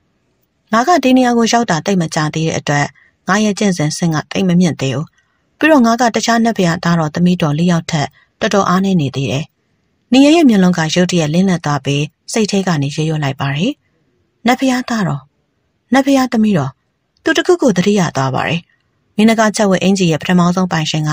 မီလီယံနဲ့သမီးလို့ခေါ်ပုံရတယ်ဆိုတာသူမှတ်မိပါတယ်။ဖန်ချီချမ်းလို့ခေါ်တဲ့သူကသူမကိုတက်ပြီး မင်းနကချက်ဝဲအင်ဂျီရဲ့ဒုတိယပိုင်ရှင်ဖြစ်လာခဲ့ပါတယ်။တကြီး၅ပါးကိုင်းမှာတထုနယ်မြေတက်သားနယ်မြေရေနယ်မြေမီလီယံနယ်မြေနဲ့မြေကြီးနယ်မြေတို့ပါဝင်ပါတယ်။မီလီယံနဲ့သမီးကမီလီယံနယ်မြေကနဲ့သမီးတော်တယောက်များဖြစ်နေမလား။တကြီး၅ပါးကိုင်းကစွမ်းထက်ပညာရှင်တွေကမင်းနကချက်ဝင်အင်ဂျီကိုသူမအတွက်ထုလုပ်ပေးထားတာများလား။နေရရဲ့စိတ်ထဲမှာအတွေးတွေတတိကြီးပေါ်လာပါတယ်။တကယ်လို့သူကမင်းနကချက်ဝင်အင်ဂျီကိုခေါ်ထုတ်မယ်ဆိုရင်အစိတ်သင့်စွန့်ရင်တွေက သူ့စီကိုအလွန်လင်းမြန်လွန်းစွာရှောင်းလာမှာကိုသူစိုးရင်နေရပါ။ဒါကြောင့်သူကအဲ့ဒါကိုမသုံးခဲ့တဲ့အတွက်ဝမ်ကျင်းနန်ကလည်းအဲ့ဒါကိုမမြင်ခဲ့ပါဘူး။ဒါနဲ့မင်းတို့ဂိုင်းမှာမီလီယံနဲ့သမီးဆိုတဲ့နာမည်နဲ့လူရှိလား။နေရန်ကမေးလိုက်တယ်။ဝမ်ကျင်းနန်ကနားမလည်နိုင်တဲ့ပုံနဲ့မေးလိုက်ပါတယ်မင်းကငါနဲ့ငါကိုင်အောင်မကြားဘူးမဟုတ်လားမင်းကငါစီနီကအမရဲ့နာမည်ကိုဘယ်လိုသိရလဲငါစဉ်းစားမိတာပါနီယန်ကအန်းအသစ်တဲ့ပုံစံနဲ့ပြောလိုက်ပါတယ်အဲနောက်သူက၆ကက်ကက်ရှိလိုက်ပြီးရှင်းပြလိုက်ပါတယ် ငါနေရာတစ်ခုမှရှာဖွေရင်အဲ့ဒီနာမည်ကိုကြားခဲ့မိလို့မင်းပြောတာတွေနဲ့ဆက်ဆက်စဉ်းစားမိလို့ငါမိလိုက်တာသူမကတက်ရှင်နေသေးလားသူမကတခိုးတယောက်ရဲ့ထောင်ချောင်းဆင်ပြီးတက်တောင်ခံခဲ့ရတယ်ပြီးတော့ငါတို့ခိုင်းရဲ့အစွမ်းထက်ဆုံးမော်ရတနာတစ်ခုကိုဆုံးရှုံးခဲ့ရတယ်။ပွန်ကျန်းနံကပြောလိုက်ပါတယ်။ဒါပေမဲ့သူမရဲ့စိတ်ဝိညာဉ်အမြင့်တန်းလေးတစ်ခုကလွတ်မြောက်ခဲ့တယ်။အခုနှစ်တစ်ထောင်လောက်ရှိသွားပြီမလို့သူမကပြန်လည်မွေးဖွားပြီးအစောပိုင်းစကြဝဠာအဆင့်ဖြစ်တဲ့ သူမရဲ့ကျင့်စဉ်အဆင့်ကပြန်ရောက်နေပြီ။နီယန်နှင်းငယ်လှုပ်ရှားသွားပါတယ်။မင်းနကချုပ်အင်ဂျီကဓာကြီး၅ပါးကိုင်းရဲ့အစွမ်းထက်ဆုံးမော်ရတနာတစ်ခုဖြစ်နေမယ်လို့သူလုံးဝထင်မထားပါဘူး။သူပို့ပြီးထင်မထားတာကမီလီယံနဲ့သမီးကတကယ်တည်ဆုံးခဲ့ရတာပြန်လည်မွေးဖွားပြီးအစောပိုင်းစကြဝဠာအဆင့်ကိုပြန်ရောက်နေတာကိုပါကံကောင်းနာကဖန်းချီချမ်းကမီလီယံနဲ့သမီးနဲ့ပတ်သက်တဲ့မိနကချက်ဝအင်ဂျီရဲ့မှတ်ဉာဏ်တွေအများစုကိုဖျက်ပစ်လိုက်တဲ့အတွက် မိနကချက်ဝအင်ဂျီကသူ့ကိုလုံးဝအတိအမှန်ပြုတာပါဒါပေမဲ့တကယ်လို့ဝမ်ကျင်းနန်တာသူတို့ခိုင်းရဲ့အဖိုးတန်မော်ရတနာတစ်ခုကသူ့စိမ်မှာရှိနေတာကိုသိမယ်ဆိုရင်သူအဲ့ဒီအခြေအနေကိုတွေးလိုက်မိတဲ့အတွက်ဟွမ်ကျင်းနန်နဲ့စကားပြောတဲ့အချိန်မှာသူတော်တော်တတိထားလိုက်ပါတယ်ပြီးတော့ရင်ရနန်နဲ့မိုးဘေးချိုင်တို့ကအဲ့ဒီအကြောင်းကိုပြောလိုက်မှသူစိုးရိမ်နေတယ်။ဒါကြောင့်ရှေးအောင်ကျယ်ပိုင်းစာနန်းတော်ကြောင့်မင်းနေတာကိုရပ်လိုက်ပါတယ်။သူကဝမ်ကျင်းနန်ရဲ့လေယာနယ်ခီးသွားရှင်ကနေထွက်ပြီးရှယ်ဝမ်တင်းတို့ရဲ့ လေယာနယ်ခီးသွားရှင်စီကိုသွားဖို့နီလန်းရှာလိုက်ပါတယ်။သူကရှယ်ဝမ်တင်းကိုရှိန်လျှော့ခိုင်းပြီးဝမ်ကျင်းနန်တို့နဲ့နည်းနည်းခွာခိုင်းလိုက်ပါတယ်။အခုကစပြီးငါရဲ့ချက်ဝက်အင်ဂျီကိုနင်တို့မမြင်ဘူးဘူးလို့သတ်မှတ်ပြီးတခြားဘသူ့ကမှလည်းမပြောမိပါစေနဲ့။နီယန်ကလေးလေးနက်နက်ပြောလိုက်တယ်။အဲ့ဒါကဓာတ်ကြီး၅ပါးခိုင်းနဲ့တော်တော်လေးပတ်သက်မှုရှိနေတယ်။ရင်ရနန်နဲ့မူးဘေးချိုင်တို့ရဲ့မျက်နှာပေါ်မှာအံ့အားသင့်မှုတွေပေါ်လာပါတယ်။နီယန်ကမျက်နှာပြည့်ရင်းစွာနဲ့ရှင်းပြလိုက်တယ်။ချဲဝက်အင်ဂျီရဲ့ပထမပိုင်ရှင်မီလီယံနဲ့သမီးက ဓာတ်ကြီး၅ပါးခိုင်းမင်းနယ်မြေကနတ်ဖျားသမီးတို့တယောက်ပဲ။ပြဿနာရှိနေတာကသူမကတကယ်မသိခဲ့ဘူး။သူမကိုဖမ်းချီချမ်းဆိုတဲ့သူကတန့်လိုက်တဲ့အချိန်မှာသူမရဲ့စိတ်ဝိညာဉ်အမြင်လေးကလွတ်မြောက်သွားပြီးပြန်လဲမွေးဖွားလာခဲ့တာ။အခုသူမကသူမရဲ့အမြင့်ဆုံးတိုက်ခိုက်စွမ်းရည်ဖြစ်တဲ့အစောပိုင်းစကြဝဠာအဆင့်ကိုပြန်ရောက်နေပြီ။နီယန်ရဲ့အသေးစိတ်ရှင်းပြမှုတွေကိုကြားလိုက်ရတဲ့အခါမင်းနကချက်ဝင်အင်ဂျီအကြောင်းပေါ်လို့မရအောင်ဆိုတာမိန်းကလေးတွေကောင်းကောင်းနားလည်သွားပါတယ်။မင်းနကချက်ဝင်အင်ဂျီကို ဓာကြီးငါးပါးဂိုင်းကထုတ်လုပ်ထားခဲ့တာဆိုရင်ငါတို့ဝန်ချင်းနန်နဲ့အတူတူဆက်ပြီးခရီးမသွားတဲ့တော့ထင်တယ်။ရှဲဝန်တင်ကစိုးရင်သွားတဲ့အမူအရာနဲ့ပြောလိုက်ပါတယ်။နီယန်ကခေါင်းခါပြလိုက်တယ်။အဲ့ဒါတော့မလို့အပ်သေးဘူး။ငါကသွေးအုပ်ကိုတောင်တန်းမှမင်းနဂါချက်ကိုအင်ဂျီကိုတုံးဖို့ရည်ရွယ်ချက်မရှိဘူးငါအဲ့ဒါကိုထုတ်ပြီးမတုံးတဲ့၍ဝမ်ကျင်းနန်တိုးနဲ့သွားတဲ့အချိန်မှာအဆင်ပြေမှာပဲအဲ့ဒီလူကရရောပြီးကျင်နာတက်တဲ့ပုံပေါ်တယ်ဒါပေမဲ့အမှန်တိုင်းပြောရရင် तू ကအယောင်မောက်ပါတယ် မူဘီချိုင်ကမျက်မှောင်ကျုပ်ပြီးပြောလိုက်ပါတယ် तू ကနင့်ကိုပဲကြိမ်မင်းသားတယောက်ဆိုတာသိပြီအလေးထားတာ तू ကနင်းကြောင်ထုတ်ပြလိုက်တဲ့ဟန်ဆန်းအပါဝင်တခြားဘသူ့ကိုမှအလေးမထားဘူး तू ကနင်းနဲ့အရန်ခင်ကျင်နေတယ်ဆိုတာနင်းကကြိမ်မင်းသားတယောက်ဖြစ်နေလို့ပဲဒါပေမဲ့အဲ့ဒီချက်ဝတ်အင်ဂျီကဓာတ်ကြီး၅ပါးခိုင်းရင်အဖို့တန်ယတနာတစ်ခုပဲ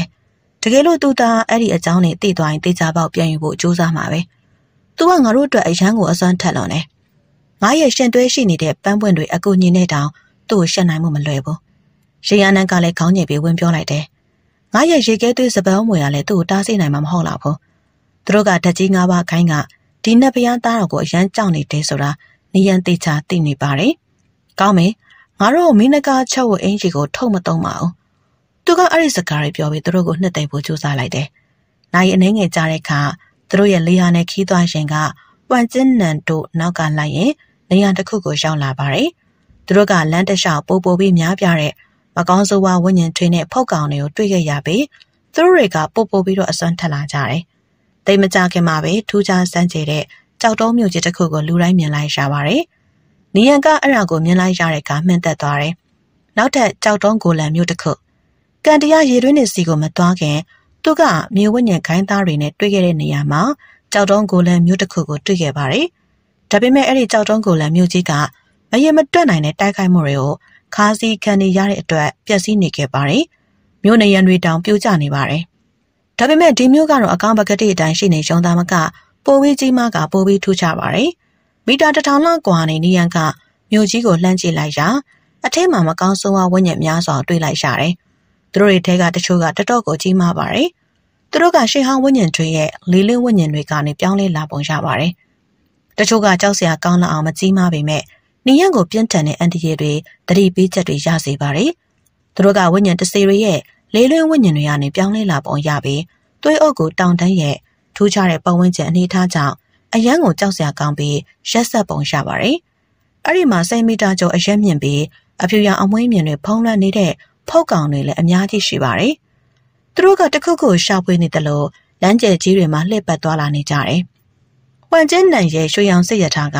မြို့ကြီးရဲ့ရှေ့မှာရပ်လိုက်ပြီးတော့လှမ်းអော်လိုက်ပါတယ်။နီယန်ရှေ့ကကြောက်တုံးကိုလန်မြို့ရဲ့အရှင်မြို့တော်ကငါတို့ရဲ့ဥတီချက်ပဲ။အဲ့ဒီမှာကမ္ဘာစိတ်ယတနာတွေရှိမယ်ဆိုတာသိကြတယ်။ငါတို့ရှာဖို့ပဲလိုတယ်။သူ့ကိုဝိုင်းရနေတဲ့ကမ္ဘာပေါင်းစုံကလက်ရွေးစင်တွေကလည်းတက်ကြွလာပါတယ်။တတိယပါမင်းကချက်ဝဲအင်ဂျီအကြောင်းကိုလုံးဝထုံမပြောမိပါစေနဲ့။နီယန်ကအတန်တိုးတိုးနဲ့ပြောလိုက်ပြီးရှဲဝမ်တင်းတို့ကိုဝမ်ကျန်းနန်စီရအောင်လိုက်ဖို့အချက်ပြလိုက်ပါတယ်။ ကြက်တုံးမြို့ကြီးကိုကြည့်နေရင်မူဘီချိုင်ကတခုခုမှားနေပြီလို့တော့မခံစားမိပါဘူး။ငါတို့တွေ့ခဲ့တဲ့ကြောက်တုံးကိုလန်တွေအကြောင်းသူ့ကိုပြောပြတဲ့တယ်လို့ငါထင်တယ်။အဲ့ဒီကြောက်တုံးကိုလန်တွေကကောင်းကင်နေကြကဘာကြီးရဲ့ခုနှစ်ယောက်ကျဲပင်လယ်ပြားကနေထွက်သွားတဲ့နောက်ပျက်စီးခြင်းတိုက်ပွဲကွင်းပြင်ကိုလာမှာပဲ။ပြီးတော့သူတို့ကသူတို့ရဲ့အရင်မြို့တော်ကိုပြန်လာမှသိကြတယ်။နီယန်ကကောင်းကြီးပြလိုက်တယ်။ငါတို့ပြောလိုက်မယ်။ရှဲဝမ်တင်ကအန်းတင်သွားပါတယ်။ဘလို့ကြောက်တုံးကိုလန်တွေကအသက်ရှင်နေသေးရလား ဟုတ်တယ်ငါတို့ကဘာမှာခုနှစ်ယောင်ကျဲပင်လယ်ပြလို့ခေါ်တဲ့နေရာတစ်ခုရှိတယ်မိုးဘေးချိုင်ကတတိထားပြီးပြောလိုက်တယ်အဲ့ဒီထိတ်ကနေကြောက်ရွံ့တို့ရှစ်ခုပြန်ထွက်လာတာကိုငါတွေ့ခဲ့တယ်နောက်ဆုံးတစ်ခုကအကြီးဆုံးပဲနောက်ပိုင်းကျမှသူတို့ကရှေးဦးခက်ကကြောက်တုံးကိုလန်တွေဆိုတာငါတို့သိခဲ့ရတာသူတို့ဘာလို့အဲ့ဒီမှာပေါ်လာတာလဲဆိုတာကိုငါတို့မသိပေမဲ့သူတို့ကပျက်စီးခြင်းဆိုတဲ့စကားလုံးကိုရှေးအောင်ဘာသာစကားနဲ့ရွရွပြီးအဝေးကိုပြန်တန်းသွားတာကိုငါတို့ကြားခဲ့တယ် ကြည့်ရတာသူတို့ကပျက်စီးခြင်းတိုက်ပွဲကွင်းပြောင်လာဖို့စူးစမ်းနေပုံရှာပါတယ်။ရှယ်ဝန်တင်းရဲ့မျက်နှာပေါ်မှာထိတ်လန့်တဲ့အမူအရာတွေပေါ်လာပြီးတော့မေးလိုက်ပါတယ်။ငါတို့ဒီမှာအဲ့ဒီကြောက်တုံးကိုလန်တွေနဲ့တွေ့နိုင်လောက်လား။ငါလည်းမတွေ့ပါစေနဲ့လို့ဆုတောင်းတာပဲ။မိုးဝိချိုင်ကတိုးဖြော့စွာပြောလိုက်တယ်။သူတို့ကအတန်တိုးတိုးနဲ့ပြောနေတဲ့အချိန်မှာပဲသူတို့ရဲ့လေယာဉ်နဲ့ခီးသွားရင်ကပန်ကျင်းနန်တို့နေရာကိုရောက်လာပါတယ်။သူကနေရန်ကိုပြုံးပြလိုက်ပြီးစနောက်လိုက်တယ်။မင်းအဖွဲ့မှာမင်းမလာလေး၃ယောက်တောင်ရှိနေတာပဲ။ မင်းကငါနဲ့အကြာကြီးမသွားချင်တာမထူးဆန်းပါဘူးလေနီယန်ကသူ့စီကနေထွက်သွားတယ်ဆိုတာမင်းကလေးတွေကိုဂယုဆိုင်ဖို့အတွက်လို့သူကယူဆလိုက်ပါတယ်နီယန်ကသူ့ထင်မြင်ချက်မှန်ချောင်းကိုမင်းကလေးတွေဟုတ်လားသူတို့ကအမြဲတမ်းတွေ့ကပ်နေတာအဲ့ဒီစကားတွေကိုကြားလိုက်တဲ့အခါမင်းကလေး၃ယောက်ကသူ့ကိုစိုက်ကြည့်လိုက်ပါတယ်ဒါပေမဲ့သူမတို့ရဲ့အကြည့်တွေကတော့မတူညီကြပါဘူးပန်ကျင်းနံကအာရပါရရှိလိုက်ပြီးငါနားလေပါတယ်လူငယ်တွေကအမြဲတမ်းရိုဆန်နေမင်းကလေးတွေနဲ့ပတ်သက်ပြီး မင်းရဲ့ကံတရားကိုငါအရင်အားကြတယ်အဲ့ဒါထားလိုက်တော့ငါတို့မှလှုပ်ရှားကိစ္စတွေရှိတယ်အဲ့ဒီကြောက်တုံးကိုလည်းမြို့တော်ကအစွမ်းထက်ဆုံးမကောင်းဆိုးဝါးဝိညာဉ်တွေနဲ့ဖောက်ကောင်တွေရှိရနေရပဲတော်တော်များများကတော့ဒီနေရာကိုတားမြစ်နေမြင်လို့သတ်မှတ်ထားတယ်ဒါပေမဲ့တကယ်လို့ငါတို့ကဘာအစိတ်ရတနာတွေကိုရှာကျင်နေဆိုရင်ငါတို့အဲ့ဒီမကောင်းဆိုးဝါးဝိညာဉ်တွေနဲ့ဖောက်ကောင်တွေကိုရင်ဆိုင်ရလိမ့်မယ်ငါတို့ကငါတို့နောက်လိုက်တွေနဲ့အတူတူနေဖို့အကြံပေးချင်တယ်မင်းကမကောင်းဆိုးဝါးဝိညာဉ်တွေကိုကင်တွယ်လိုက်ငါကဖောက်ကောင်တွေကိုတိုက်ခိုက်မယ် နီယန်ကလေးနဲ့တဲ့အမူအရာနဲ့မေးလိုက်တယ်ဒီကြောက်တုံးကိုလန်မြို့တော်ကဘာရီထူးကြနေလို့လဲအကိုဝမ်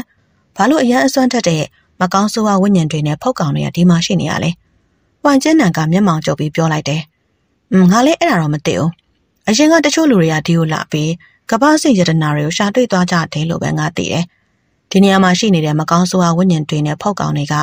ဒီနေရာကိုသူတို့ရဲ့အိမ်ဖြစ်ဘာလို့သတ်မှတ်ထားတာလဲဆိုတာငါလည်းမသိဘူး။မြို့ထဲမှာကြောက်တုံးကိုလန်နေမရှိတော့မလား။ နေရန်ကမေးလိုက်တယ်။ဘလို့ဖြစ်ပြီးဖြစ်နေမှာလဲ။ကြောက်တုံးကိုလန်တွေကပထမဆုံးစစ်ပွဲတွေကမျိုးတုံးသွားတာ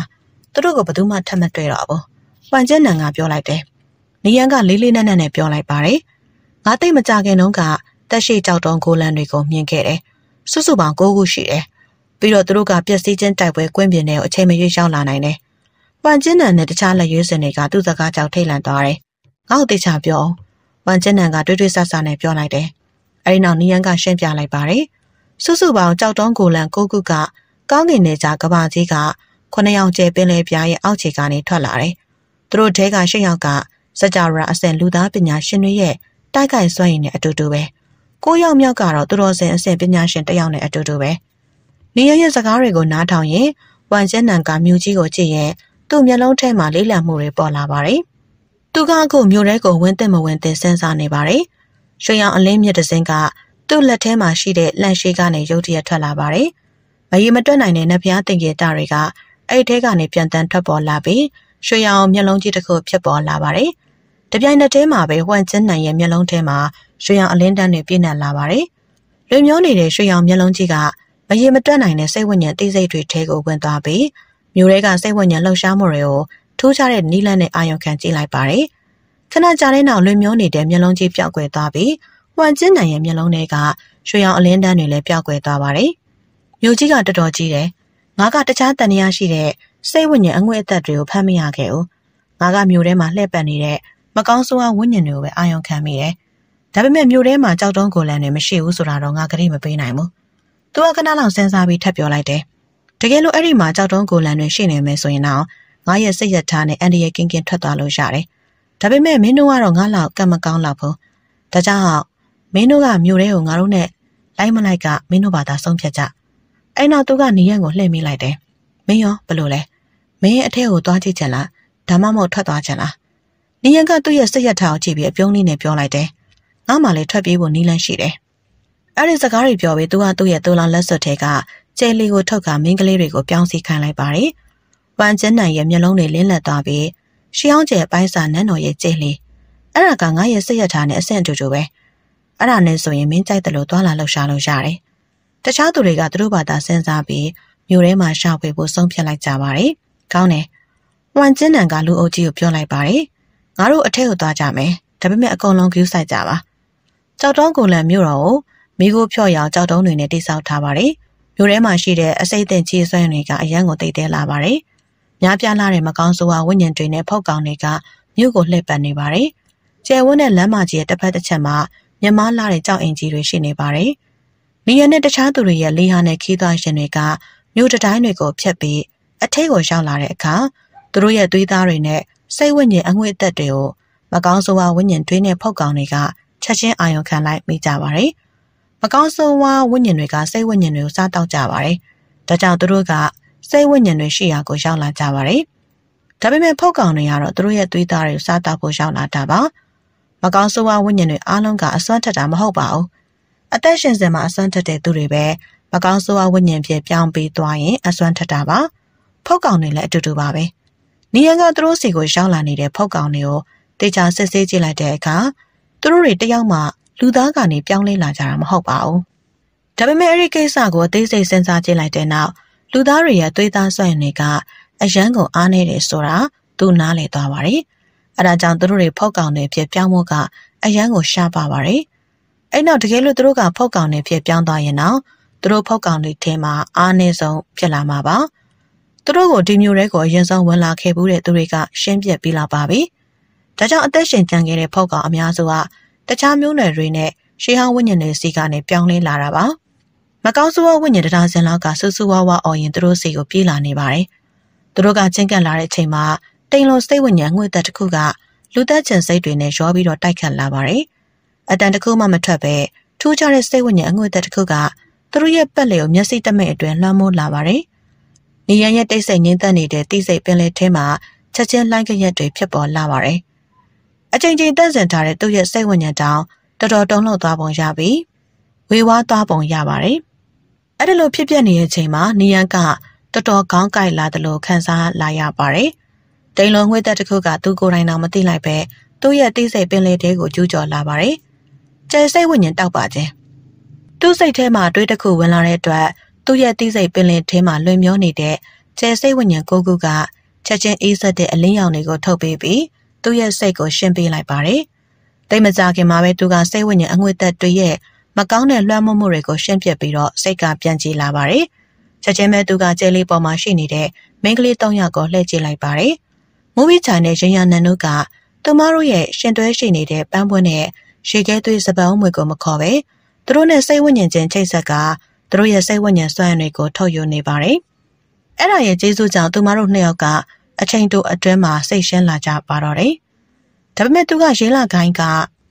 ရှဲဝမ်တင်ကိုကြည့်လိုက်မိတဲ့အခါ ကရင်လိုကြည့်လည်နေတဲ့သူမရဲ့မျက်လုံးထဲမှာကြောက်စရာကောင်းမှုတွေပေါ်လာနေပါတယ်။သူမစီမှာရက်ဆက်ကြမ်းကြုတ်ပြီးသွေးစာမှုတွေပြည့်နေတဲ့အငွေသက်တစ်ခုရုတ်တရက်ထွက်ပေါ်လာကကံရီလိုကြည်လင်နေတဲ့သူမရဲ့မျက်လုံးထဲမှာကြောက်စရာကောင်းမှုတွေပေါ်လာနေပါတယ်။သူမစီမှာရက်ဆက်ကြမ်းကြုတ်ပြီးသွေးစာမှုတွေပြည့်နေတဲ့အငွေသက်တစ်ခုရုတ်တရက်ထွက်ပေါ်လာကသူမရဲ့ပုံစံနဲ့လုံးဝကိုဆန့်ကျင်နေပါတယ်။သူမရဲ့မျက်လုံးထဲမှာလူသက်ချင်စိတ်တွေပြည့်နှက်လာပါတယ်။နို့တော့ နီယန်ကသူမရဲ့မျက်ခုံးကြားတွေကိုလက်ချောင်းလေးနဲ့နှိပ်ပြီးអော်လိုက်ပါတယ်။အေးဆက်တဲ့ကျဲဆိုင်အမြင်လေးတစ်ခုကသူ့လက်ချောင်းထဲကနေထွက်သွားပြီးထိန်းချုပ်ခံနေရတဲ့သူမရဲ့စိတ်ထဲကိုရောက်သွားပါတယ်။သူမရဲ့မျက်လုံးထဲမှာရက်ဆက်မှုတွေကသူမကိုရက်ပတ်နေတဲ့ထူးဆန်းတဲ့အငွေ့သက်တွေနဲ့အတူလျင်မြန်စွာမှိမ့်မိန်သွားပါတယ်။ချက်ချင်းပဲသူမကတတိပြောင်းဝင်လာပြီးနားမလည်နိုင်တဲ့အမှုရာတွေနဲ့ဘာတွေဖြစ်ခဲ့တာလဲထူးဆန်းတယ်မိုးဘေးဆိုင်ကတူတူလေးပြောလိုက်ပါတယ် ဒီကြောက်တုံးကိုလန်မျိုးတော်တိတ်ကမကောင်းဆိုးဝါဝိညာဉ်တွေအရေးအတွက်အရန်များရုံမကပဲလူတွေကိုရွတ်သွတ်သွားအောင်တော့လုပ်နိုင်တယ်အခုတေချာကယူဆိုင်ကြနီယန်ကရှဲဝမ်တင်းရဲ့မျက်ခုံးကြားတဲ့ကိုလက်ချောင်းလေးနဲ့ထောက်ထားတာကိုပြန်ရုပ်လိုက်ပြီးနင်းရဲ့တိစိတ်ပင်လေးကိုတစ်ချိန်လုံးကာကွယ်ထားတာပိုကောင်းမယ်နင်းကိုနောက်တစ်ချိန်မလွှမ်းမိုးစေနဲ့တော့ကျေးဇူးတင်ပါတယ်ရှဲဝမ်တင်ကကြောက်လန့်တကြားပြောလိုက်တယ်။ငါရန်ကိုခရူးမဆိုင်တယ်လို့ဖြစ်သွားတယ်။ငါတို့ရင်ကတွေ့ခဲ့မှုတဲ့မကောင်းဆိုးဝါးဝိညာဉ်တွေ တကောင်းမှရိုးသွက်သွားအောင်မလုပ်နိုင်တဲ့အတွက်ငါကြိုပြီးတော့ပြင်ဆင်မထားမိတာ။อืมနီယန်ကတန်ပြတ်နဲ့ပြောလိုက်တယ်။အဲ့ဒီချိန်မှာပဲဟွမ်ကျင်းနန်ရဲ့စိတ်ရထားနဲ့တခြားလေယာနဲ့ခီးသားရင်တွေကနီယန်ရဲ့ပတ်လည်မှာဆူယုံလာကြပါတယ်။အဲ့ဒါဘာလို့လဲဆိုတော့ဝင်ရောက်လာတဲ့မကောင်းဆိုးဝါးဝိညာဉ်တွေကသူတို့ရဲ့သိစိတ်ပင်လယ်တွေကိုလည်းတိုက်ခိုက်ခဲ့လို့ဖြစ်ပါတယ်။ဒါပေမဲ့သူတို့တွေတယောက်မှလွှမ်းမိုးခံရပုံမရပဲတည်တည်ငြိမ်ငြိမ်ပဲရှိပါသေးတယ်။မကောင်းဆိုးဝါးဝိညာဉ်အနေငယ်က နီယန်တို့အနားကိုပို့ပို့ပြီးနိကတ်လာတဲ့အချိန်မှာများပြားလာတဲ့စိတ်ဝိညာဉ်အမြင့်တန်းလေးတွေကနီယန်နဲ့တခြားသူတွေရဲ့စိတ်ဝိညာဉ်တွေကိုချုပ်နှောင်ဖို့စိတ်ဝိညာဉ်ကိုညက်ကြီးတစ်ခုကိုပြက်လွတ်လိုက်ပါတယ်။မကောင်းဆိုးဝါးဝိညာဉ်တွေနဲ့အချိန်ပေါင်းများစွာရင်ဆိုင်ထားတဲ့အတွက်နီယန်ကရင်ကလေးကအရာကိုကြိုတင်ပြင်ဆင်ထားပါတယ်။သူကစိတ်ဝိညာဉ်အမြင့်တန်းတွေပေါ်လာတာနဲ့ဝိညာဉ်ပလဲကိုထုတ်လိုက်ပါတယ်။အဲဒီနောက်မှာပဲမကောင်းဆိုးဝါးဝိညာဉ်တွေထုတ်လွှတ်လိုက်တဲ့စိတ်ဝိညာဉ်အမြင့်တန်းလေးတွေကိုဝိညာဉ်ပလေကဆော့ယူလိုက်ပါတယ်။ အဲဒါကိုမြင်တဲ့အခါမကောင်းဆိုးဝါးဝိညာဉ်တွေကကြောက်လန့်ပြီးစိုးရိမ်တကြီးထွက်ပြေးကြပါတယ်။ဒါပေမဲ့ဝိညာဉ်ပလေထဲမှာခုခံလို့မရလောက်တဲ့စွမ်းအားတွေမွေးဖွားလာပြီးမကောင်းဆိုးဝါးဝိညာဉ်တွေကိုစုပ်ကန်လိုက်ပါတယ်။မမြင်ရတဲ့လက်ကြီးတွေကစိမ့်ပြန်ရောက်ပလဲတဲ့ကိုဆွဲသွင်းခံလိုက်ရတော့မဲ့ပုံစံမျိုးပါပဲ။ဝန်ကျင်းနဲ့တခြားသူတွေကိုတိုက်ခိုက်နေတဲ့တခြားမကောင်းဆိုးဝါးတွေလည်းချက်ချင်းအန်ဒီရဲ့ကိုအာရုံခံမိပြီးအမြန်ထွက်ပြေးသွားကြပါတယ်။တိတ်မကြခင်မှာပဲသူတို့အားလုံးကအဝေးမှာပျောက်သွားပါတယ်။ ကွမ်ကျင်းနန်နဲ့တခြားသူတွေကနီယန်ရဲ့လှုပ်ဆောင်မှုအတွက်မအံ့ဩကြတော့ပါဘူး။နီယန်ကအဲ့ဒီထူးခြားတဲ့ပလင်းနဲ့အချိန်ချင်းလှုပ်ဆောင်ဘူးတာကိုသူတို့ကြုံဘူးနေပါတယ်။ဖောက်ကောင်တွေတကောင်မိတကောင်လမ်းမကျဲကြီးရဲ့ဘေးတစ်ဖက်တစ်ချက်မှာရှိနေတဲ့ကြောက်တုံးအင်ကြီးတွေထဲကနေထွက်လာပါတယ်။ကြည့်ရတာသူတို့ကကြောက်တုံးဂိုလန်တွေရဲ့နေအိမ်တွေကိုသူတို့ကိုယ်ပိုင်အိမ်တွေအဖြစ်သတ်မှတ်ထားပုံရပါတယ်။သူတို့ကသွေးသားငွေသက်တွေကိုရှာမှအထဲကနေထွက်လာကြတာပါတကုလုံးမွေးမြင်တွေဖုံးနေတဲ့ဖုတ်ကောင်တွေအားလုံးကအရွယ်အစားမတူပါဘူး သူတို့ထဲကတချို့ကပြက်နှောင်းပြက်နိုင်ကြပါတယ်တချို့ကတော့လမ်းလျှောက်လာကြပါတယ်ဒါပေမဲ့သူတို့အားလုံးကသူတို့ရဲ့မျက်တွင်းဟောက်ပတ်ကြီးတွေနဲ့လေထဲမှာရှိနေတဲ့ခီးသားရှင်တွေကိုကြည့်နေကြပါတယ်ပြန်တန်းနေတဲ့ဖုတ်ကောင်တွေအားလုံးကအလင်းတန်းတွေအဖြစ်ပြောင်းပြီးလေယာနဲ့ခီးသားရှင်တွေကိုတိုက်ချနေပါတယ်အဲ့ဒီဖုတ်ကောင်တွေကိုငါတို့တာဝန်ထားလိုက်ဝမ်ကျန်းနန်ကအေးစစ်စစ်ပုံစံနဲ့ပြောလိုက်ပါတယ်။ထချက်ချင်းပဲကဘာမျိုးစုံကတခြားလူတွေအားလုံးသူတို့ရဲ့လေးဟာနဲ့ခီးသွွားရင်တွေကိုမောင်းပြီး ဝင်လာတဲ့ဖောက်ကောင်တွေနဲ့ပြင်းပြင်းထန်ထန်တိုက်ခိုက်နေကြပါတယ်။ဒါပေမဲ့ဟွမ်ကျင်းနန်ကတော့ဝင်ပြီးတော့မတိုက်ခိုက်ပါဘူး။ရွှေရောင်တွေလင်းလက်တောက်ပါနေတဲ့ရွှေရောင်အလင်းတန်းထဲမှာနေရင်ထူးခြားစမ်းကြယ်တဲ့ကြောက်ရွံ့ကြီးတစ်ခုလိုသူကသူ့ရဲ့စိတ်ရထားပေါ်မှာရက်နေပါတယ်။ကြီးတာသူကအဲ့ဒီဖောက်ကောင်တွေကိုကိုယ်တိုင်ကိုယ်ကြတိုက်ခိုက်ဖို့လူတယ်လို့မထင်ပါဘူး။တခြားခြေစစ်သေးတော်တွေကအေးစစ်စစ်ကင်တွယ်နိုင်မယ်လို့ထင်နေပါတယ်။လူငယ်လက်ရွေးစင်တွေရဲ့ပူပေါင်းတိုက်ခိုက်မှုကြောင့်ပြန်တန်းနေတဲ့ဖောက်ကောင်တွေအလုံး အစိမ့်စိမ့်မော်မော်ဖြစ်သွားပြီးလေထဲကနေကျသွားပါတယ်။လမ်းမပေါ်မှာရှောက်နေတဲ့ဖောက်ကောင်တွေကသူတို့ရဲ့အစိမ့်ပိုင်းအပြက်တွေစီကိုသွားပြီးစားတောက်နေကြပါတယ်။တိတ်မကြခင်မှာပဲခြေစစ်သေးတော်တွေကပြန်တန်းနိုင်တဲ့ဖောက်ကောင်တွေအလုံးကိုတက်ပြတ်နိုင်ခဲ့ပါတယ်။ကြံသေးတာဆိုလို့မပြန်တန်းနိုင်သေးတဲ့ဖောက်ကောင်တွေပဲကြံมาတော့တယ်။သူတို့ကလည်းသူတို့အမျိုးသားတွေရဲ့အသားတွေကိုစားတောက်ရင်အလုံများနေတဲ့အတွက်ဒီရက်နဲ့တခြားသူတွေကိုအန်ဒီရမပေးနိုင်ပါဘူး။ အဲဒီချိန်မှာပဲဟွမ်ကျင်းနန်ရဲ့မျက်လုံးထဲမှာရွှေရောင်အလင်းတန်းတွေတက်လက်လက်တောက်ပါလာပါတယ်။သူ့ရဲ့ရွှေရောင်မျက်လုံးတွေကြောင့်သူကအသေးစိတ်လှုပ်ရှားမှုလေးတွေကိုတော့အာရုံခံနိုင်ပုံရပါတယ်။ခဏကြာတဲ့နောက်သူကရွရွလိုက်တယ်။အဲဒီတယောက်ပဲ။အဲနောက်သူ့ရဲ့ရွှေရောင်ဆက်ရထားကကြောက်ရင်တို့ရဲ့နောက်ကိုရွှေရောင်အလင်းတန်းတစ်ခုလိုမောင်းထွက်သွားပါတယ်။သူ့ရဲ့အပြုတ်မှုကြောင့်နီယန်ကတွေးဝေသွားပြီးသူ့ရဲ့ကြယ်လီနဲ့အတူသူ့နောက်ကိုလိုက်သွားပါတယ်။ကြောင်ရင်ကြီးရဲ့ကျဲဝန်းတဲ့နောက်ဘက်ချမ်းဝန်းထဲမှာရေရင်းတွင်ရှိပါတယ်။ ရှုပ်တော့နေတဲ့မိမဖုတ်ကောင်တယောက်ကရေရင်းပေးမှရှက်နေပြီးရေပုံးတပုံးပြီးတပုံးဆွဲထုံနေတယ်။ရေပုံးထဲမှာရေတက်တွေမရှိပဲသွေးညစ်တွေပဲပြည့်နေပါတယ်။မိမဖုတ်ကောင်ကရေပုံးထဲကိုမျက်နှာနှစ်ပြီး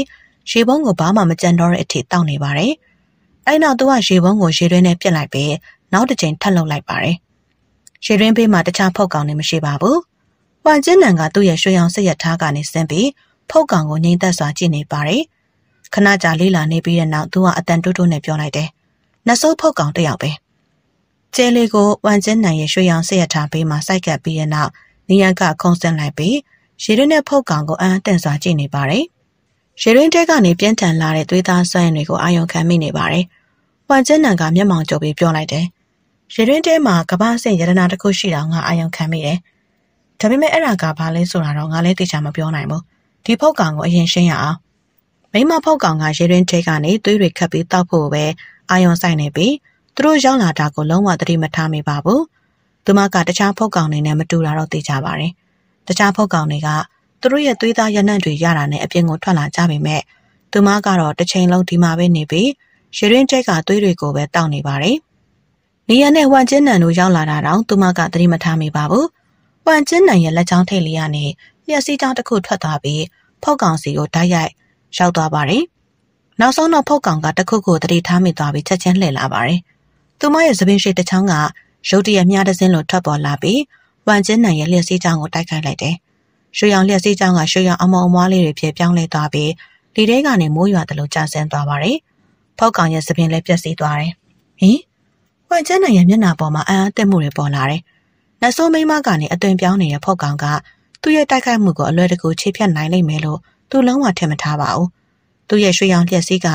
ကြောက်တုံးတွေတက်ထွတ်တွေကိုတောင်ထိုးပေါက်နိုင်ပါတယ်။အဆင့်6မရောက်သေးတဲ့တခြားမျိုးနွယ်တွေတောင်အဲ့ဒါကိုအလွယ်တကူမခုခံနိုင်ပါဘူး။ဒီဖုတ်ကောင်ကသူမအသက်ရှည်တုံးကအစဲမြင့်လိမ့်မယ်လို့ထင်ပါတယ်။ပန်ကျင်းနိုင်ရဲ့မျက်နှာပေါ်မှာစိတ်ဝင်စားတဲ့အမှုရာတွေပေါ်လာပါတယ်။သူ့ရဲ့လက်ပေါ်မှာရွှေရောင်ကြာပန်းတစ်ခုလှိမ့်မြန်စွာဖြစ်ပေါ်လာပါတယ်။သူ့ရဲ့ပွင့်ချက်တစ်ခုချင်းကတထုဆွမ်းရင်အနှစ်သာရတွေနဲ့ပြည့်နှက်နေပုံရပါတယ်။ရွှေရောင်ကြာပန်းကလေးပတ်လာပြီး တန့်စင်တဲ့ရွှေရောင်နှက်ဖျားအလင်းတွေတက်လက်လက်တောက်ပါလာပါတယ်။ရွှေရောင်ပွင့်ချက်ထဲကနေရွှေရောင်ကြိုးလေးတွေတောင်းချီပြီးထွက်လာပါတယ်။အဲ့ဒါတွေနဲ့အတူမကောင်းဆိုးဝါးတွေအားလုံးကိုရှင်းပြနိုင်တဲ့ငွေသက်တစ်ခုပါပါဝင်ပါတယ်။နဆိုးမိမဖောက်ကောင်က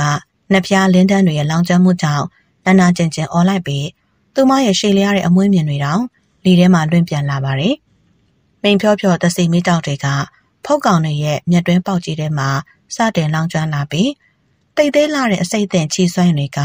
သူမစီကိုပပတ်လဲကနေရုတ်တရက်စီးဝင်လာပါတယ်။နီယာပါဝင်ချောင်းဝန်းထဲမှာရှိနေတဲ့သူတွေအားလုံးတိုးမြင့်လာတဲ့အစိတ်သက်ချီဆွမ်းတွေကြောင့်စတင်ခန်းစားလာရပါတယ်။ဒီဖုတ်ကောင်ကသူတို့တွေ့ခဲ့မှုတဲ့တခြားဖုတ်ကောင်တွင်းနဲ့မတူတာတော့သိကြပါတယ်။သွေးအုပ်ကိုတောင်တန်းမှာသူတို့တွေ့ခဲ့မှုတဲ့ဖုတ်ကောင်တွေက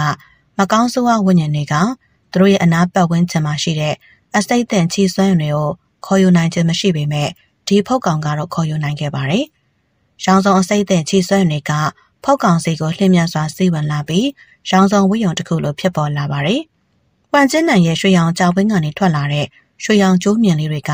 တန်အပ်လေးတွေလိုသူ့စီကိုတိုးဝင်သွားပေမဲ့အဲ့ဒီဝိယုံကိုမထိုးဖောက်နိုင်ပါဘူး။သူမကိုယ်ပေါ်မှာလောင်ကျွမ်းနေတဲ့မိန်ဖြောဖြောရွှေရောင်မိတောက်တွေကချက်ချင်းပြောက်ကွယ်သွားပါတယ်။အဲနောက်သူမကသူမရဲ့ဘဲလက်အယိုးလက်ကိုဝှေ့ရမ်းလိုက်ရာအလင်းတန်းတစ်ခုထွက်လာပါတယ်။ရွှေရောင်ကြပန်းကပြင်းပြင်းထန်ထန်ထိခိုက်သွားပါတယ်။ သူ့ရဲ့ပန်းမွင့်တွေတော့မြေပြင်ပေါ်ကိုကျပြီးပောက်ကွဲသွားပါတယ်။ပောက်ကွဲသွားပြီးရတဲ့ဖွင့်ဖက်တွေက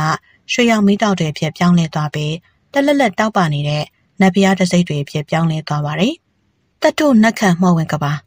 ပွန်ကျင်းနံကအဲ့ဒီစကလုံးတွေရေရွတ်လိုက်တာနဲ့ရွှေရောင်မိတောက်တွေရက်ပတ်နေတဲ့နတ်ဖျားတင်ကြီးတာတွေက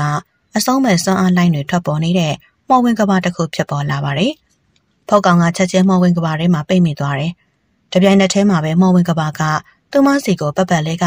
အစိတ်သက်ချီစွမ်းတွေဝင်မလာအောင်တားဆီးပေးလိုက်ပါတယ်။ရွှေရောင်လေးပြလေးတွေလိုပဲမိတောက်အစုဝေးတွေက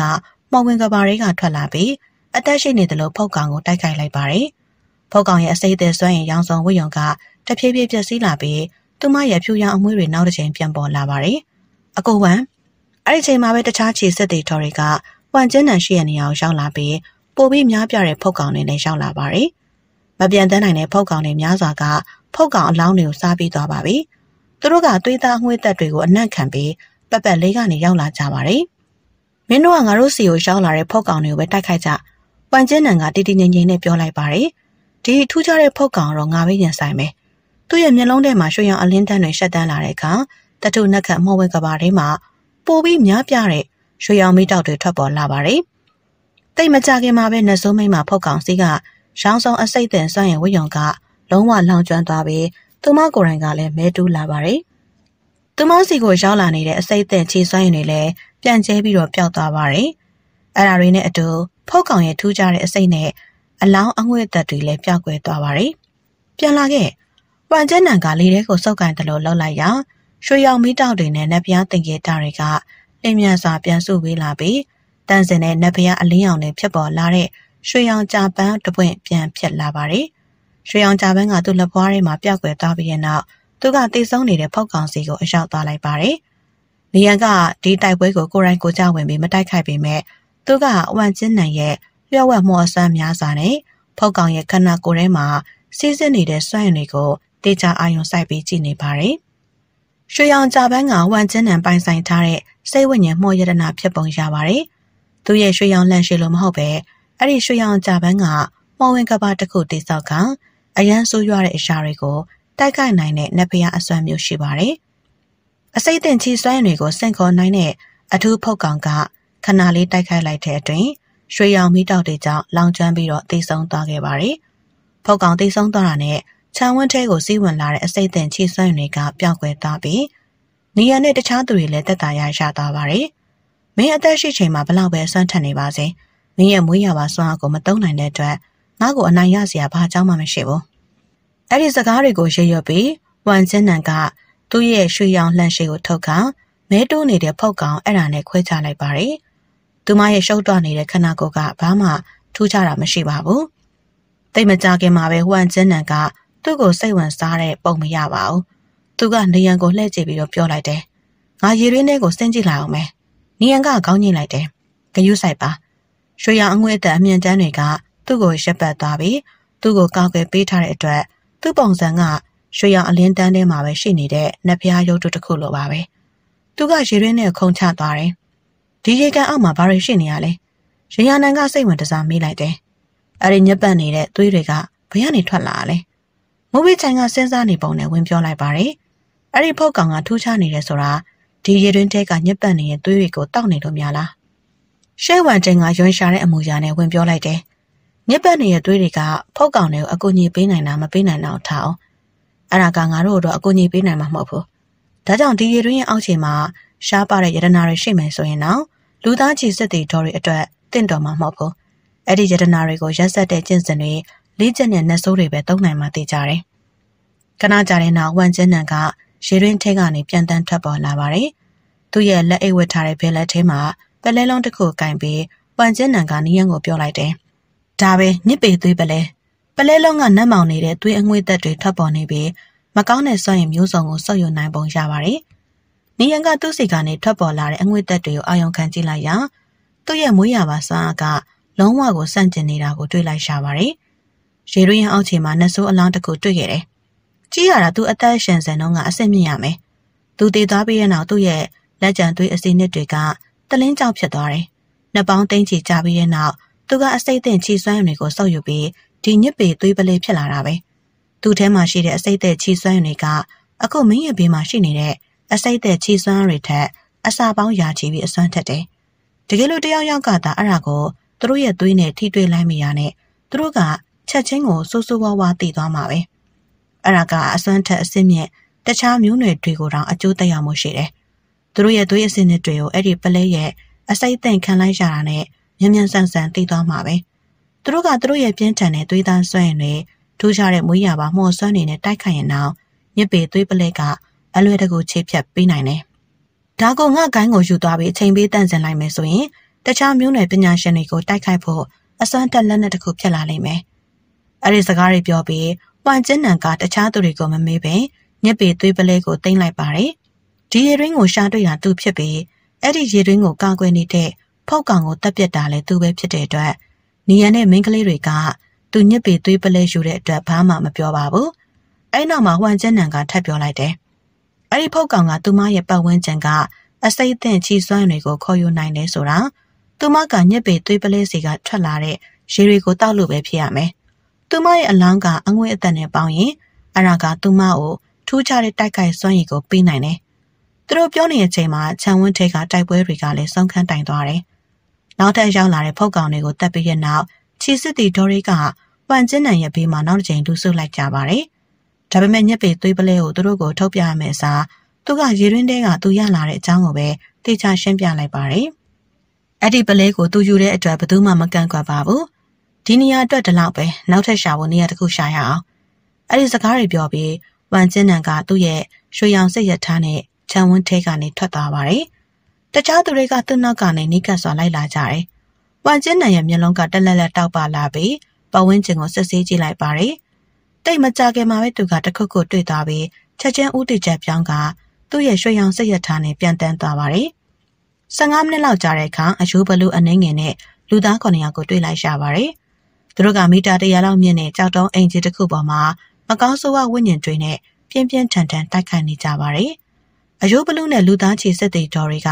မကောင်းဆိုးဝါးဝိညာဉ်တွေကိုစုပေါင်းပြီးတိုက်ခိုက်နေပုံရပါတယ်။သူတို့ကိုအဝေးကနေလှမ်းကြည့်လိုက်ပြီးနီယန်ကအေးဆက်စွာနဲ့ပြုံးလိုက်တယ်။သူတမရှိနေမယ်လို့ငါထင်တော့မထင်ထားဘူး။ရီယန်နန်ကပြန်ပြီးလိုက်တယ်။ဘာတူလဲ။နေရဲ့မျက်လုံးထဲမှာတက်ဖြတ်ခြင်းစိတ်တွေချက်ချင်းပြေလာပါတယ်။ကောင်းကင်စပတ်အောင်ကဘာကြီးမှာရှိတဲ့ဓာတ်တောင်တောင်နှန်းကိုင်းကရှင်းပေါ်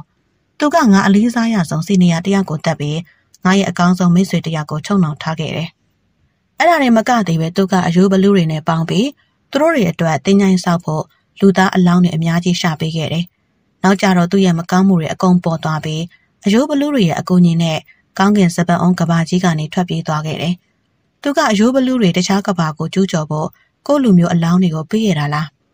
ရင်ရနန်ကအေးဆက်တဲ့မူရနဲ့ပြောလိုက်တယ်အဲ့ဒါဆိုရင်တော့သူသေးတဲ့နဲ့ငါသဘောတူတယ်နီယန်ကဆုံးဖြတ်ချက်ပြတ်သားစွာပြောလိုက်ပါတယ်ဒီတစ်ချိန်တော့သူ့ကိုဘယ်သူမှမကင်နိုင်တော့ဘူးနီယန်ကရှင်းပေါ်ကိုမျက်နှာနဲ့မှတ်မိလိုက်ပါတယ် ဒါပေမဲ့ရှင်းပေါ်ကတော့နီယန်လုံးဝမသိပါဘူးနီယန်နဲ့တခြားသူတွေရွှေလင်းပြန်ခိုင်းကကျုံရှက်ရှုနဲ့တိုက်ခိုက်ခဲ့တော့ကလှိုရှမ်းလင်နဲ့တခြားသူတွေကပဲအတိကတိုက်ခိုက်ခဲ့တာပါ။ရှင်းပုံနဲ့ဓာတ်တောင်တောင်တန်းကိုင်းကလူတွေရောက်လာတဲ့အချိန်မှာသူတို့ကလှူရှမ်းလင်တဲ့ဟွာမှုကိုပဲတွေ့ရလိုက်ရပါတယ်။နေရရဲ့ကျက်စင်ကတော့အရန်ကိုနေတဲ့အတွက်ရှင်းပုံသတိမထားမိခဲ့ပါဘူး။အခုချိန်မှာရှင်းပုံက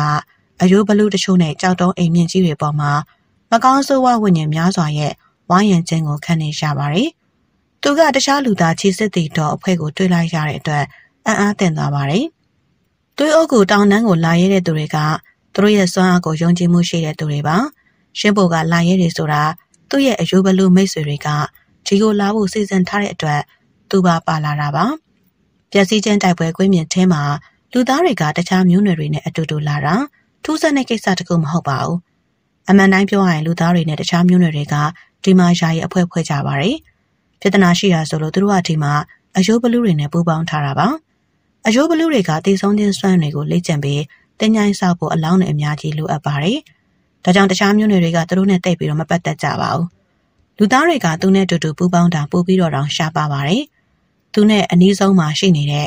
ကွမ်ကျင်းနံကိုကြည့်နေရင်ရှင်းဘိုရဲ့မျက်နှာကတဖြည်းဖြည်းပြတ်လာပါတယ်။ကောင်းကင်စပန်းကဘာကြီးက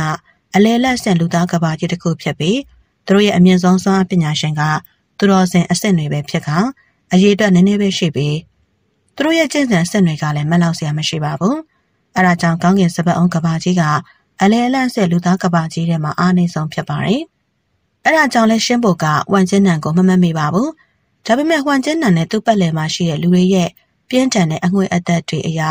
ရှင်းဖို့ကမလုံးကျုံတလို့ခံစားလာရတယ်။သူတို့ကအရန်အစွမ်းထက်တဲ့သူတွေဆိုတာသိကြပါတယ်။ပြီးတော့သူတို့ကအယူဘလူးနဲ့ပူးပေါင်းတဲ့အတွက် မကြိုက်တာသူသိရဲ့။ဒါကြောင့်အခြေအနေကိုဘယ်လိုကင်တွယ်ရမလဲဆိုတာသူစဉ်းစားနေပါတယ်။သူတို့ဖြတ်သွားတာဖြစ်ဖို့ပဲမျှော်လင့်ပါတယ်။ရှင်းဖို့ကစိတ်ထဲကနေကြိတ်ပြီးဆူတောင်းလိုက်ပါတယ်။နေရရဲ့ကျေလေးကအနားကိုရှောင်းလာပြီးဝမ်ကျင်းနံရဲ့ရွှေရောင်စက်ရထားကိုမိလာပါတယ်။သူကဝမ်ကျင်းနံကိုလှည့်ကြည့်လိုက်တယ်။ပြီးတော့သူ့မျက်လုံးတွေကရွှေရောင်တွေတက်လက်လက်တောက်ပနေတာကိုတွေ့လိုက်ရှာပါတယ်။သူကဓာကြီး၅ပါးခိုင်းရထူးခြားတဲ့လျှော့ဝက်မော်ဆန်ကိုတုံးပြီးသူ့ပတ်ဝန်းကျင်ကိုဆက်ဆင်းနေပုံရှာပါတယ်။ ရှင်းပုံနဲ့အယိုးဘလူးတွေရှိနေတဲ့ကြောက်တုံးအင်ကြီးကိုစိုက်ကြည့်ရင်ပွန်ကျင်းနံကဘာမှထူးခြားတာကိုမတွေ့တဲ့ပုံနဲ့အေးစစ်စစ်ပြောလိုက်ပါတယ်။ဒီမှာဘာမှထူးခြားတာမရှိဘူး။တကယ်လို့အဲ့ဒီလူတွေမကောင်းဆိုးဝါးဝိညာဉ်တွေကိုတိုက်ခိုက်နေတာငါတို့အလုံးမဟုတ်ဘူး။ငါတို့ဒီမှာအချိန်မဖြုံးနိုင်ဘူး။ရှင်းပုံနဲ့တခြားသူတွေကအယိုးဘလူးတွေနဲ့ပူပေါင်းတာကိုသူသဘောမကျပေမဲ့သူ့မှာဘာမှဝင်ပါဖို့စိတ်ကူမရှိပါဘူး။ဘလို့ပဲဖြစ်ဖြစ်သူတို့အတွက်ဘာကြိုးမှမရှိပါဘူး။အဲ့ဒီလူကငါခွင့်မလွတ်နိုင်တဲ့အလုပ်တကူလုပ်ထားတယ်။ နီယန်ကပြောလိုက်တယ်။ဝန်ကျက်နံကနီယန်ရဲ့အကြည့်ကိုလိုက်ကြည့်လိုက်ပြီးရှင်းပုတ်ကိုတိတိကျကျကြည့်လိုက်ပါတယ်။အလဲလက်တကူရှန်အဆင့်ငါအဲ့ဒီလူကိုအရင်ကလုံးဝမမြင်ဘူးဘူး။သူကအရေးပါတဲ့လူတစ်ယောက်လည်းမဟုတ်လားဘူး။သူကဘာတူလဲ။သူကဘာလုပ်ခဲ့တာလဲ။အဲ့ဒီချိန်မှာသူတို့ရဲ့လေယာနဲ့ခီးသွားရှင်ကကြောက်တုံးအိမ်ကြီးနဲ့တော်တော်ဝေးနေရမှာရပ်နေတာပါ။မကောင်းဆိုးဝါးဝိညာဉ်တွေကအယိုးဘလူးတွေရှင်းပုံနဲ့တခြားသူတွေကိုဝိုင်းဝန်းတိုက်ခိုက်နေပါသေးတယ်။ နီယန်တို့ဘက်ကတော့တော်တော်ဝေးတဲ့အတွက်သူတို့ကနီယန်တို့ကိုလာပြီးတော့မတိုက်ခိုက်တော့ပါဘူး။အဲ့ဒီလူရဲ့နာမည်ကရှင်းပုံ။သူကကောင်းငင်စပတ်အောင်ကဘာကြီးကဓားသုံးလက်ကိုင်းကအဲ့ဒီကိုင်းမှာအစောပိုင်းသူတော်စင်အဆင့်ပညာရှင်ပဲရှိတယ်။ငါနဲ့သူနဲ့ရန်ညိုးတွေကနီယန်ကအခြေအနေတွေကိုဝမ်ကျင်းနံတီအောင်ဆက်ပြီးတော့ရှင်းပြလိုက်ပါတယ်။ပရိသတ်များရှင်နောက်ရက်တွေမှာလည်းကျမတို့ရဲ့ channel ကနေအခုတင်ဆက်ပေးခဲ့တဲ့တိုင်းဇလန်းလေးရဲ့အခန်းဆက်ကိုတင်ဆက်ပေးသွားမှာဖြစ်ပါတယ်။ အခုလိုမျိုးအားပေးနားဆင်တဲ့အတွက်လည်းကျေးဇူးများကြီးတင်ပါတယ်ရှင်။